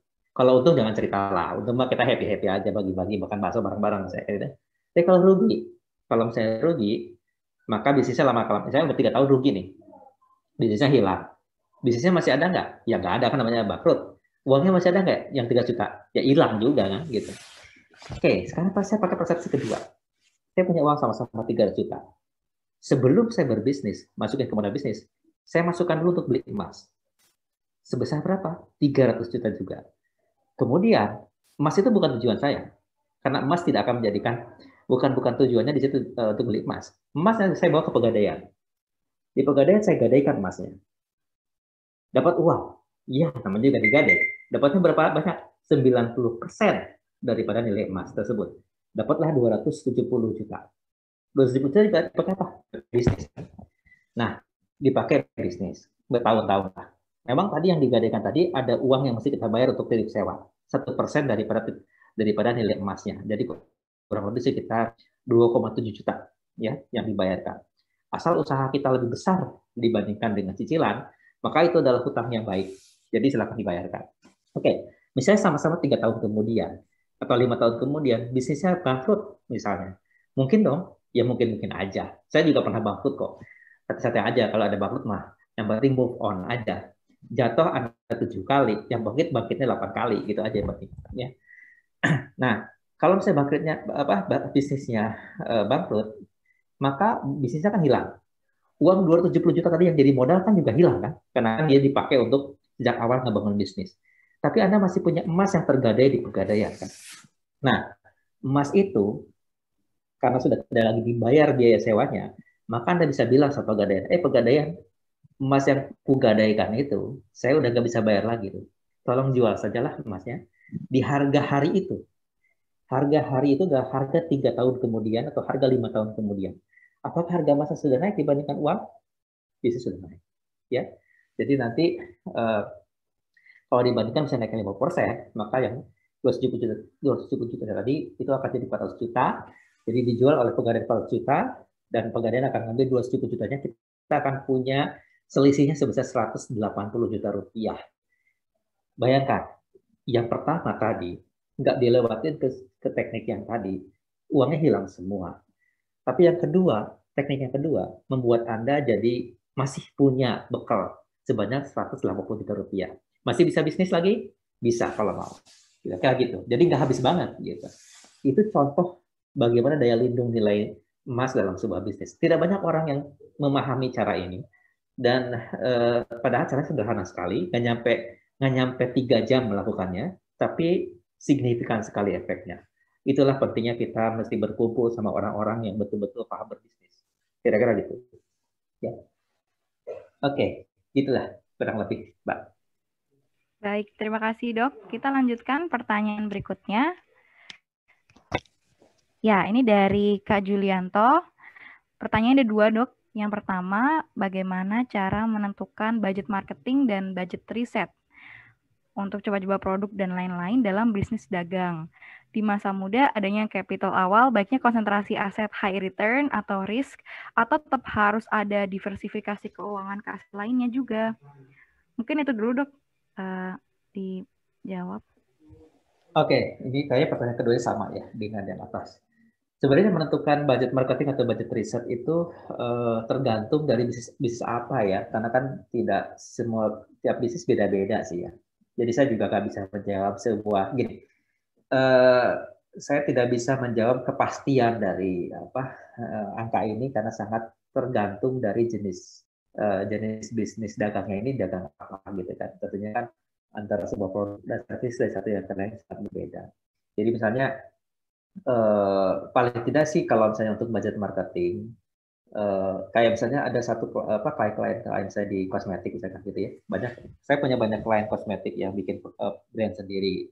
Itu ada yang budget marketingnya kecil ada yang budget marketingnya gede ya. Tergantung dia memang akan akan cepat banget untuk penetrasi ke pasar atau memang dengan cara uh, masuk dengan uh, marketing yang relatif lebih smooth tanpa tanpa yang natural ya. Yang tanpa iklan misalkan gitu tapi dia menggunakan uh, marketing-marketing yang relatif uh, lebih low cost. Karena marketing itu ada yang high cost, ada yang low cost kan. Dan itu pilihan kita sebenarnya. Dan kalau misalnya budget riset segala macam juga tentunya harus masuk ya untuk uh, apa? Untuk di Nah itu juga tergantung ya karena tergantung produknya juga gitu ya. Uh, kalau misalnya secara secara keumuman uh, biasanya budget-budget yang terkait dengan budget marketing ini uh, kalau dalam sebuah modal yang besar, paling tidak tidak melebihi 50% jelas, ya. ya kalau bisa ya karena yang eh, yang lainnya kan harus untuk juga buat budget operasional dan juga budget risetnya tadi. Uh, kalau misalnya kita tipikal yang memang sangat peduli dengan kualitas produk, budget risetnya mungkin akan diperbesar, bisa jadi mungkin tadinya 10-20% jadi lebih besar. Tapi saya balik lagi ini sangat tergantung karena saya sendiri juga dalam menjalankan ini juga tidak pernah memakai patokan angka yang fix, sangat sangat fleksibel dan sangat agile banget gitu ya, eh, eh, tergantung dari kondisinya. Kemudian eh, di masa muda adanya kapital A. Kalau masih muda seperti teman-teman, ngambil yang high risk, high return, okay loh. Ya, business is one part of them. Karena bisnis adalah termasuk yang high high return juga. Ya. Kenapa demikian? Saya dulu lebih banyak bermain di sisi high risk, high return. Maksudnya saya berbisnis. Saya berbisnis karena leverage dari bisnis itu gede banget. Ya. Misalnya kalau misalnya kita uh, kayak sekarang saya juga banyak membantu UKM UKM atau entrepreneur muda gitu ya. Jadi mereka modalnya misalnya anggap 100 juta contohnya dengan bisnis kosmetik. Di 100 juta mereka hanya per sebulan itu bisa mereka mendapatkan untungnya 100% minimal. Itu untung ya, bukan omset gitu. Jadi eh, tapi memang perjuangannya lumayan dan itu bisa bergulir terus gitu ya. Jadi ada satu klien saya itu menarik banget. Dia bisnis kosmetik dari kami ngambilnya atau COGS dari kami itu harga produksinya 400 ribu rupiah. Agak lumayan mahal untuk sebuah kosmetik memang, ya. Tapi karena produknya banyak, produknya premium bahannya. Dan yang sangat menarik adalah kelompok ibu-ibu ini, jadi ini ibu-ibu. Ibu-ibu ini bisa memanfaatkan jaringannya segala macam. Dan yang saya kagum adalah mereka menjual produk yang tadi COGS beli dari kami itu 400 ribu, mereka jual setengah juta rupiah dan laku. Yang kayak kacang goreng lakunya. Dan menarik kan? Karena kan marginnya luar biasa tinggi gitu dan itu sangat mungkin kalau dalam berbisnis gitu. Kalau masih muda ya saya kira uh, tetap alokasi high risk high returnnya lebih tinggi. Tetap ada alokasi ke diversifikasi yang lain, apalagi kalau nanti hasilnya. Ingat tadi saya lihatin bahwa kita dari hasil bisnis itu jangan dinikmati semua. Jadi dimasukkan diversifikasi ke untuk leverage lagi untuk membeli yang sifatnya harta dan nilainya naik. Ingat ya, apa tuh harta? adalah sesuatu yang membuat uang masuk lagi kepada kita, bukan keluar dari kita. Ya, jadi misalnya anda dari bisnis tersebut, anda beli lagi aset, aset tersebut justru menghasilkan lagi uang kepada kita. Tidak peduli apakah dia mungkin sifatnya lebih low dibandingkan apa low speed dibandingkan dengan bisnisnya, tapi yang jelas anda mengkonversi ke aset yang betulnya harta dan nilainya meningkat, gitu. Jadi di sampai diversifikasi seperti itu. Diversifikasi ke keuangan apa? Diversifikasi keuangan ke aset yang lain juga seperti finansial uh, financial asset juga kan juga ada banyak ada banyak contohnya. Anda bisa main, Anda bisa berinvestasi di reksadana, Anda bisa berinvestasi di uh, uh, uh, saham gitu ya. Kemudian saham juga bisa macam-macam kan, ada yang profilnya untuk risiko yang uh, rendah, menengah dan tinggi ya. Bagi Anda yang uh, secara psikologis tidak siap, bukan orang risk taker, tapi Anda misalnya mengambil investasi yang risiko tinggi, nanti jantungan terus. Nanti Anda lagi lagi sekolah, lagi praktek, lagi apa, nanti kepikirnya malah pikir investasinya, takut gitu ya. Ya jangan juga gitu ya. Jadi sesuaikan dengan profil kita. Kalau saya gitu, saya biasanya coaching dan saya saya biasanya akan ajak what sebenarnya what is your goal and why is it important for you. Kemudian apa yang dibutuhkan diperlukan untuk itu dan dijabarkan lagi gitu. Karena setiap orang kebutuhannya berbeda-beda. Ya, jadi ingat lagi eh, Anda nanti ujungnya ini mau ke mana, untuk apa. Jadi di di, di down satu-satu gitu. Kira-kira gitu. Tapi saya menyarankan bagi Anda yang masih muda, it's time for you to try everything. Ya, karena justru kalau kita masih masih belum ada tanggungan, belum ada keluarga segala macam, ibaratnya ya, ibaratnya mau rugi habis-habisan juga nggak ada yang sakit tidak menakutip ya, gitu. Beda kalau saya Anda sudah punya keluarga, punya anak banyak gitu ya, udah gitu kebangun bisnis udah gitu fail gitu ya udah gitu malah menyeret-nyeret aset-aset keluarga kan pasti akan lebih tidak enak gitu walaupun bukan berarti nggak boleh bisnis ya salah juga cuma maksudnya manfaatkan masa muda kita untuk mengeksplorasi untuk belajar untuk bisa mengevaluasi setiap langkah ya jadi memang dalam dalam banyak kacamata investor dan juga pebisnis masa muda itu ngegas ngegas di sini bukan ngegas ini ya saya ngegas itu ngegas benar-benar kita belajar banyak dan kita betul-betul ngebangun bisnis kita seagresif mungkin gitu. Kira-kira gitu. Karena energi kita masih masih masih banyak gitu. Jadi uh, go to high risk return kalau menurut saya jika sesuai dengan profilnya, jika profil psikologis kita juga memang sedemikian, just go for it. Kalau saya memang high risk high return taker biasa itu. Jadi buat saya kalau ada bisnis yang punya risiko tinggi tapi juga punya high return, ini hukum hukumnya ya high risk high return, low risk ya low return. Jadi kalau misalnya ada yang nawarin low risk high return, hati-hati ya. Jangan-jangan itu ada PHP doang gitu. Jangan-jangan nanti itu cuma inversi bodong. Jadi jangan pernah mau percaya kayak gitu. Banyak dokter juga. Anda tahu kan itu ada dokter di India yang membeli lampu Aladin 3 miliar ditipu tuh kan. Ada yang mungkin ada yang baca kali ya. Ya itu ada begitu. Seorang dokter, ya ibaratnya dokter gitu ya. Masa mau dibodohin mau beli lampu Aladin gitu. Ya nggak ada juga kali gitu. gitu kira-kira gitu. Ya, ini contoh aja. Tapi itu nyata loh. Saya saya nggak saya nggak habis pikir ada yang begitu gitu. Ya. Dokter dokter spesialis loh bukan dokter umum. Oke, okay. ya mungkin nggak butuh lagi duitnya kali ya, sehingga mau beli lampu Aladin. Saya nggak ngerti juga. Oke, okay. mudah-mudahan jawab ya. ya. Kalau ada yang mungkin perlu di coaching lebih detail, silakan. Bisa datang Baik. ke kantor saya di Kampus Bangki FKUI. Selanjutnya ada dua pertanyaan terakhir dok. Uh, yang Boleh, pertama silakan. ini ada pertanyaan dari anonim. Ya. Saya bacakan sebentar. Uh, ini seorang dokter tentunya akan sering berinteraksi dengan pasien. Apakah seorang dokter boleh melakukan promosi kepada pasien? Lalu apakah uh, melakukan promosi ini melanggar kodeki dan bagaimana cara melakukan promosi tanpa melanggar kodeki? Jadi ini terkait etik ya dok, mungkin boleh dijawab etik karena iya ini bagus. Ini pertanyaannya bagus sekali. Ini pertanyaannya bagus sekali. Baik. Jadi kita selalu melakukan semuanya berdasarkan indikasi. Penting itu. Jadi kita mematuhi betul-betul eh, aturan main kita dalam kode etik kita. Dan ingat ya, pasien itu tidak selalu eh, apa ya? Mereka pasti akan patuh kepada kita ketika kita eh, me, apa, mensaja sesuatu hati nurani kita juga yang akan bilang bahwa Anda niatnya ini mau jualan atau Anda betul-betul mau nolong. Itu pertama dulu jenisnya. Karena itu hati nurani Anda akan akan tahu persis itu apa. Anda sebenarnya niatnya apaan sih, gitu kan? Tapi gini, eh, yang jelas pada saat interaksi dengan pasien, just do your best, ya. Dan kalau misalnya apa pun yang dibutuhkan dari diperlukan pasien, sediakan opsi itu kepada pasien dan biarkan mereka yang memilih, gitu. Eh, dalam praktek saya juga sampai sekarang begitu, sama, ya kita memberikan informasi sedetail mungkin yang mungkin mereka butuhkan, mereka perlukan, dan mereka silakan memilih. Tidak ada kewajiban apa pun untuk mereka untuk harus ini, harus itu, dan mereka sudah tahu konsekuensinya apa, gitu kan? Jadi sepanjang kita melakukan sesuatu dengan profesional, sepanjang kita melakukan sesuatu dengan uh, sesuai dengan apa, sesuai dengan uh, kompetensi kita dan juga dengan skill kita yang memang uh, apa sudah apa ya sesuai lah dengan dengan kompetensi kita ya.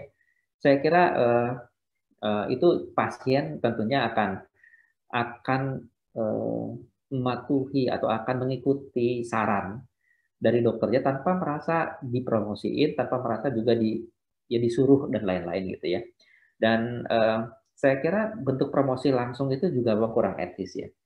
Tapi kalau misalnya kita memberikan informasi terkait tindakan segala macam, itu adalah sebuah informasi yang uh, bisa jadi memang diperlukan oleh pasien. Tapi kita tidak boleh tidak boleh ibaratnya eh, karena kita otoritas, otoritas yang lebih tinggi, kita tidak boleh menyuruh, meminta, mewajibkan gitu. Menurut saya sih tidak. Kita tetap memberikan opsi-opsi. Jadi eh, ibu dan bapak kondisi bapak seperti ini dari pengamatan saya penilaian saya ada beberapa hal yang baik yang mungkin bapak dan ibu bisa lakukan. Misalnya ini apa, ini apa, ini apa, ini keuntungannya apa, ini kerugiannya apa segala macam.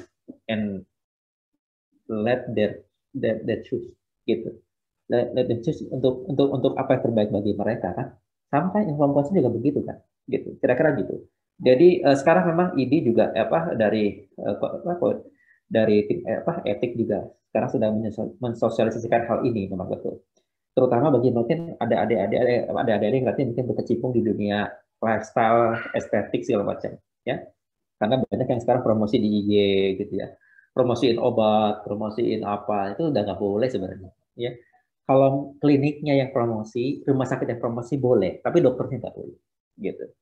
Kira-kira gitu. Jadi ini uh, silakan Anda uh, tanya juga hati nurani juga ya, Anda niatnya apa. Kemudian juga uh, sepanjang kita melakukan sesuatu untuk setinggi-tinggi kebaikan pasien dan tidak memaksa, tidak pernah memaksa apa pun kepada pasien, ya saya kira itu masih hal, hal yang masih diperbolehkan. Ya. Nah, ini kata-kata promosi ini memang masih agak bias buat saya. Promosinya seperti apa tepatnya ya. Tapi yang jelas kalau Anda menginformasikan sesuatu yang memang tepat sesuai indikasi, why not gitu. Silakan gitu. Kira-kira gitu. Dan bahkan mungkin sesuatu yang tidak ada di klinik kita gitu. Ini kalau saya juga selalu tawarkan sesuatu yang semua tindakannya bisa ini ini ini ini di sini ada di sini nggak ada gitu. biar mereka yang memilih gitu. kira-kira gitu jadi uh, saya kira itu ya jadi uh, sepanjang memang kita makan dengan profesional dan uh, sesuai dengan apa ya uh, hati nurani kita juga kita tahu persis bahwa ini kita sudah melanggar apa tidak gitu kira-kira gitu sih yang jelas orientasi adalah setinggi tingginya pemulihan profesi kita dan sebaik-baiknya kondisi pasien. Itu yang paling penting. Kita akan lakukan sesuatu apa pun untuk pasien kita akan kita lakukan.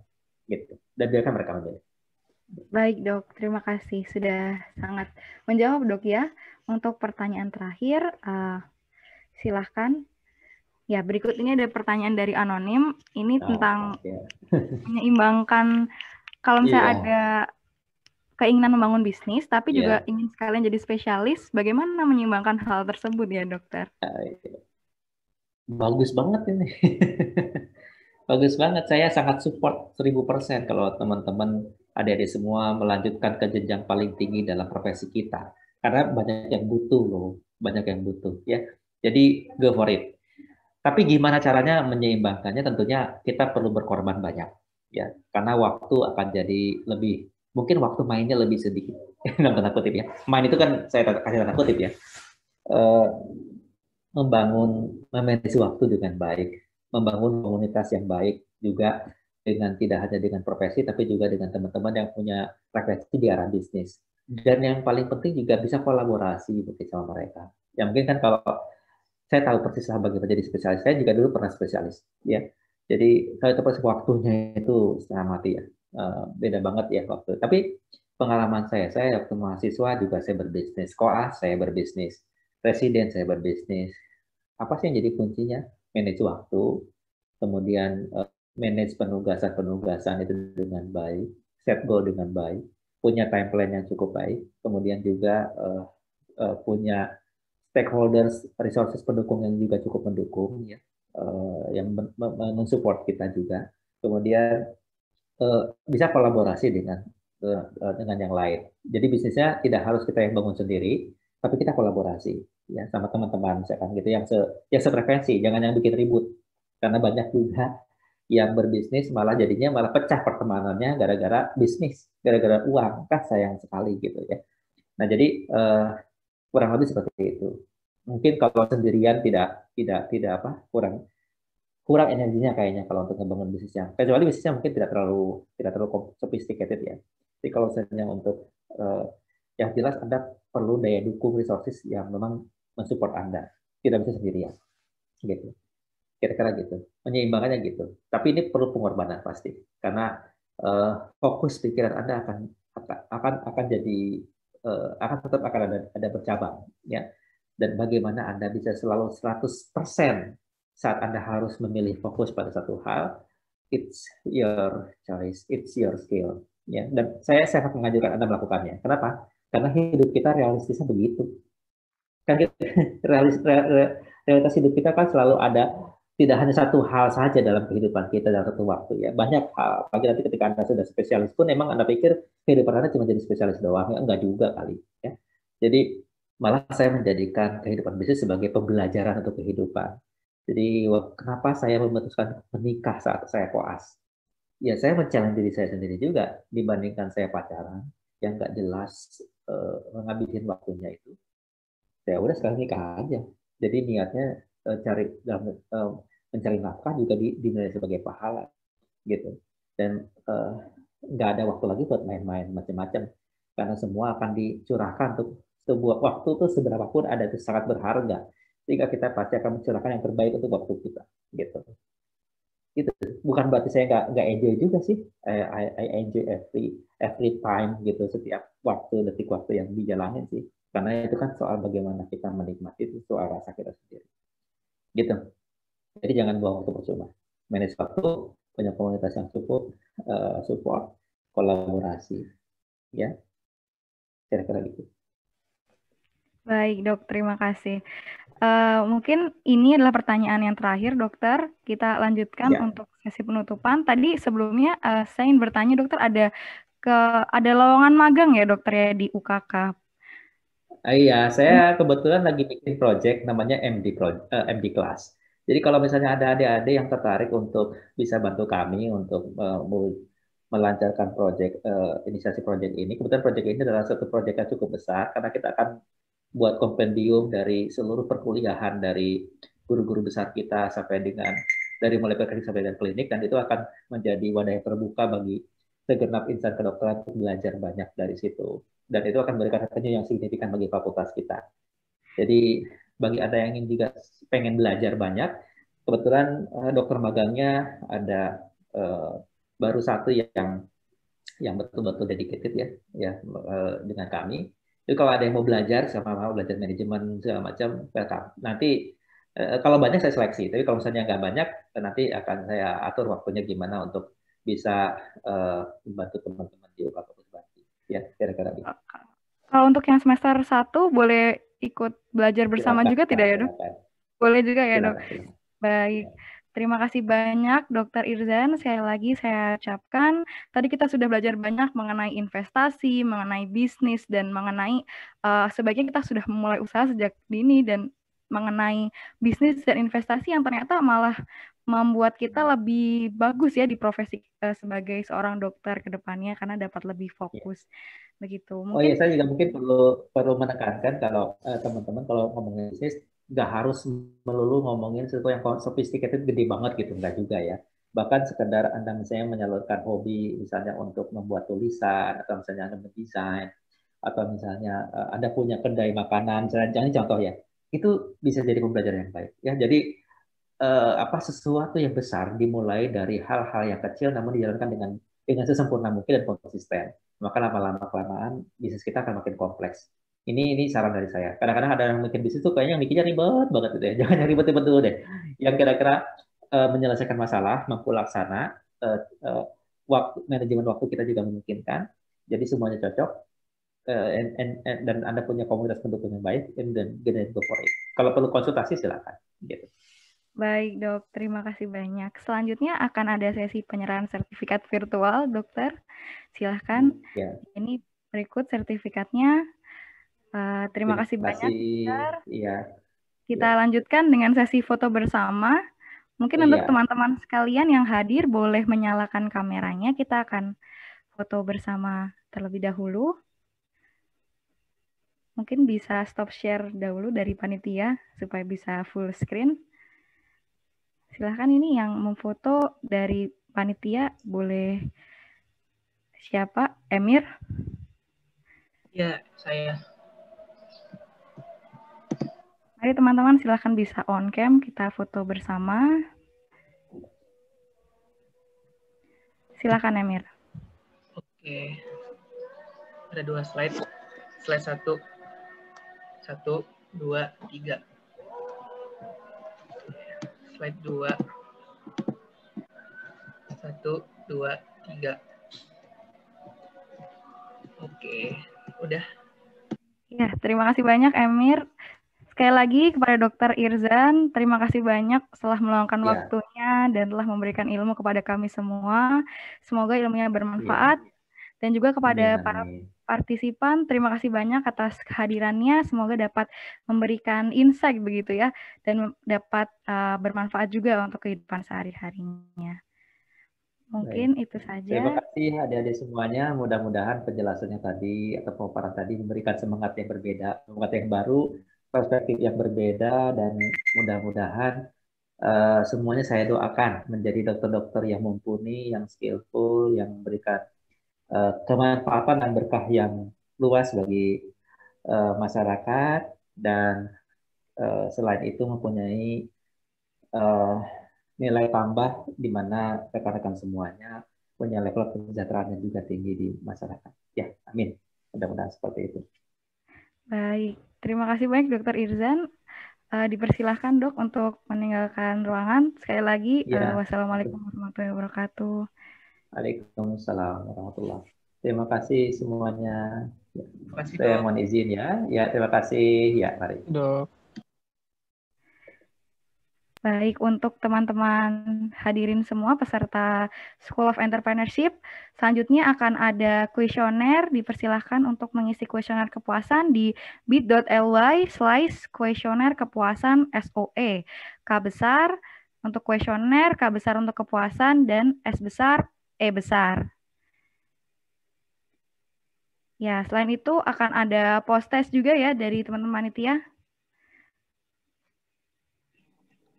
Ya, benar kan udah termasuk di linknya nanti. Oh iya benar. Silahkan teman-teman untuk mengisi post testnya untuk mereview-review materi begitu ya.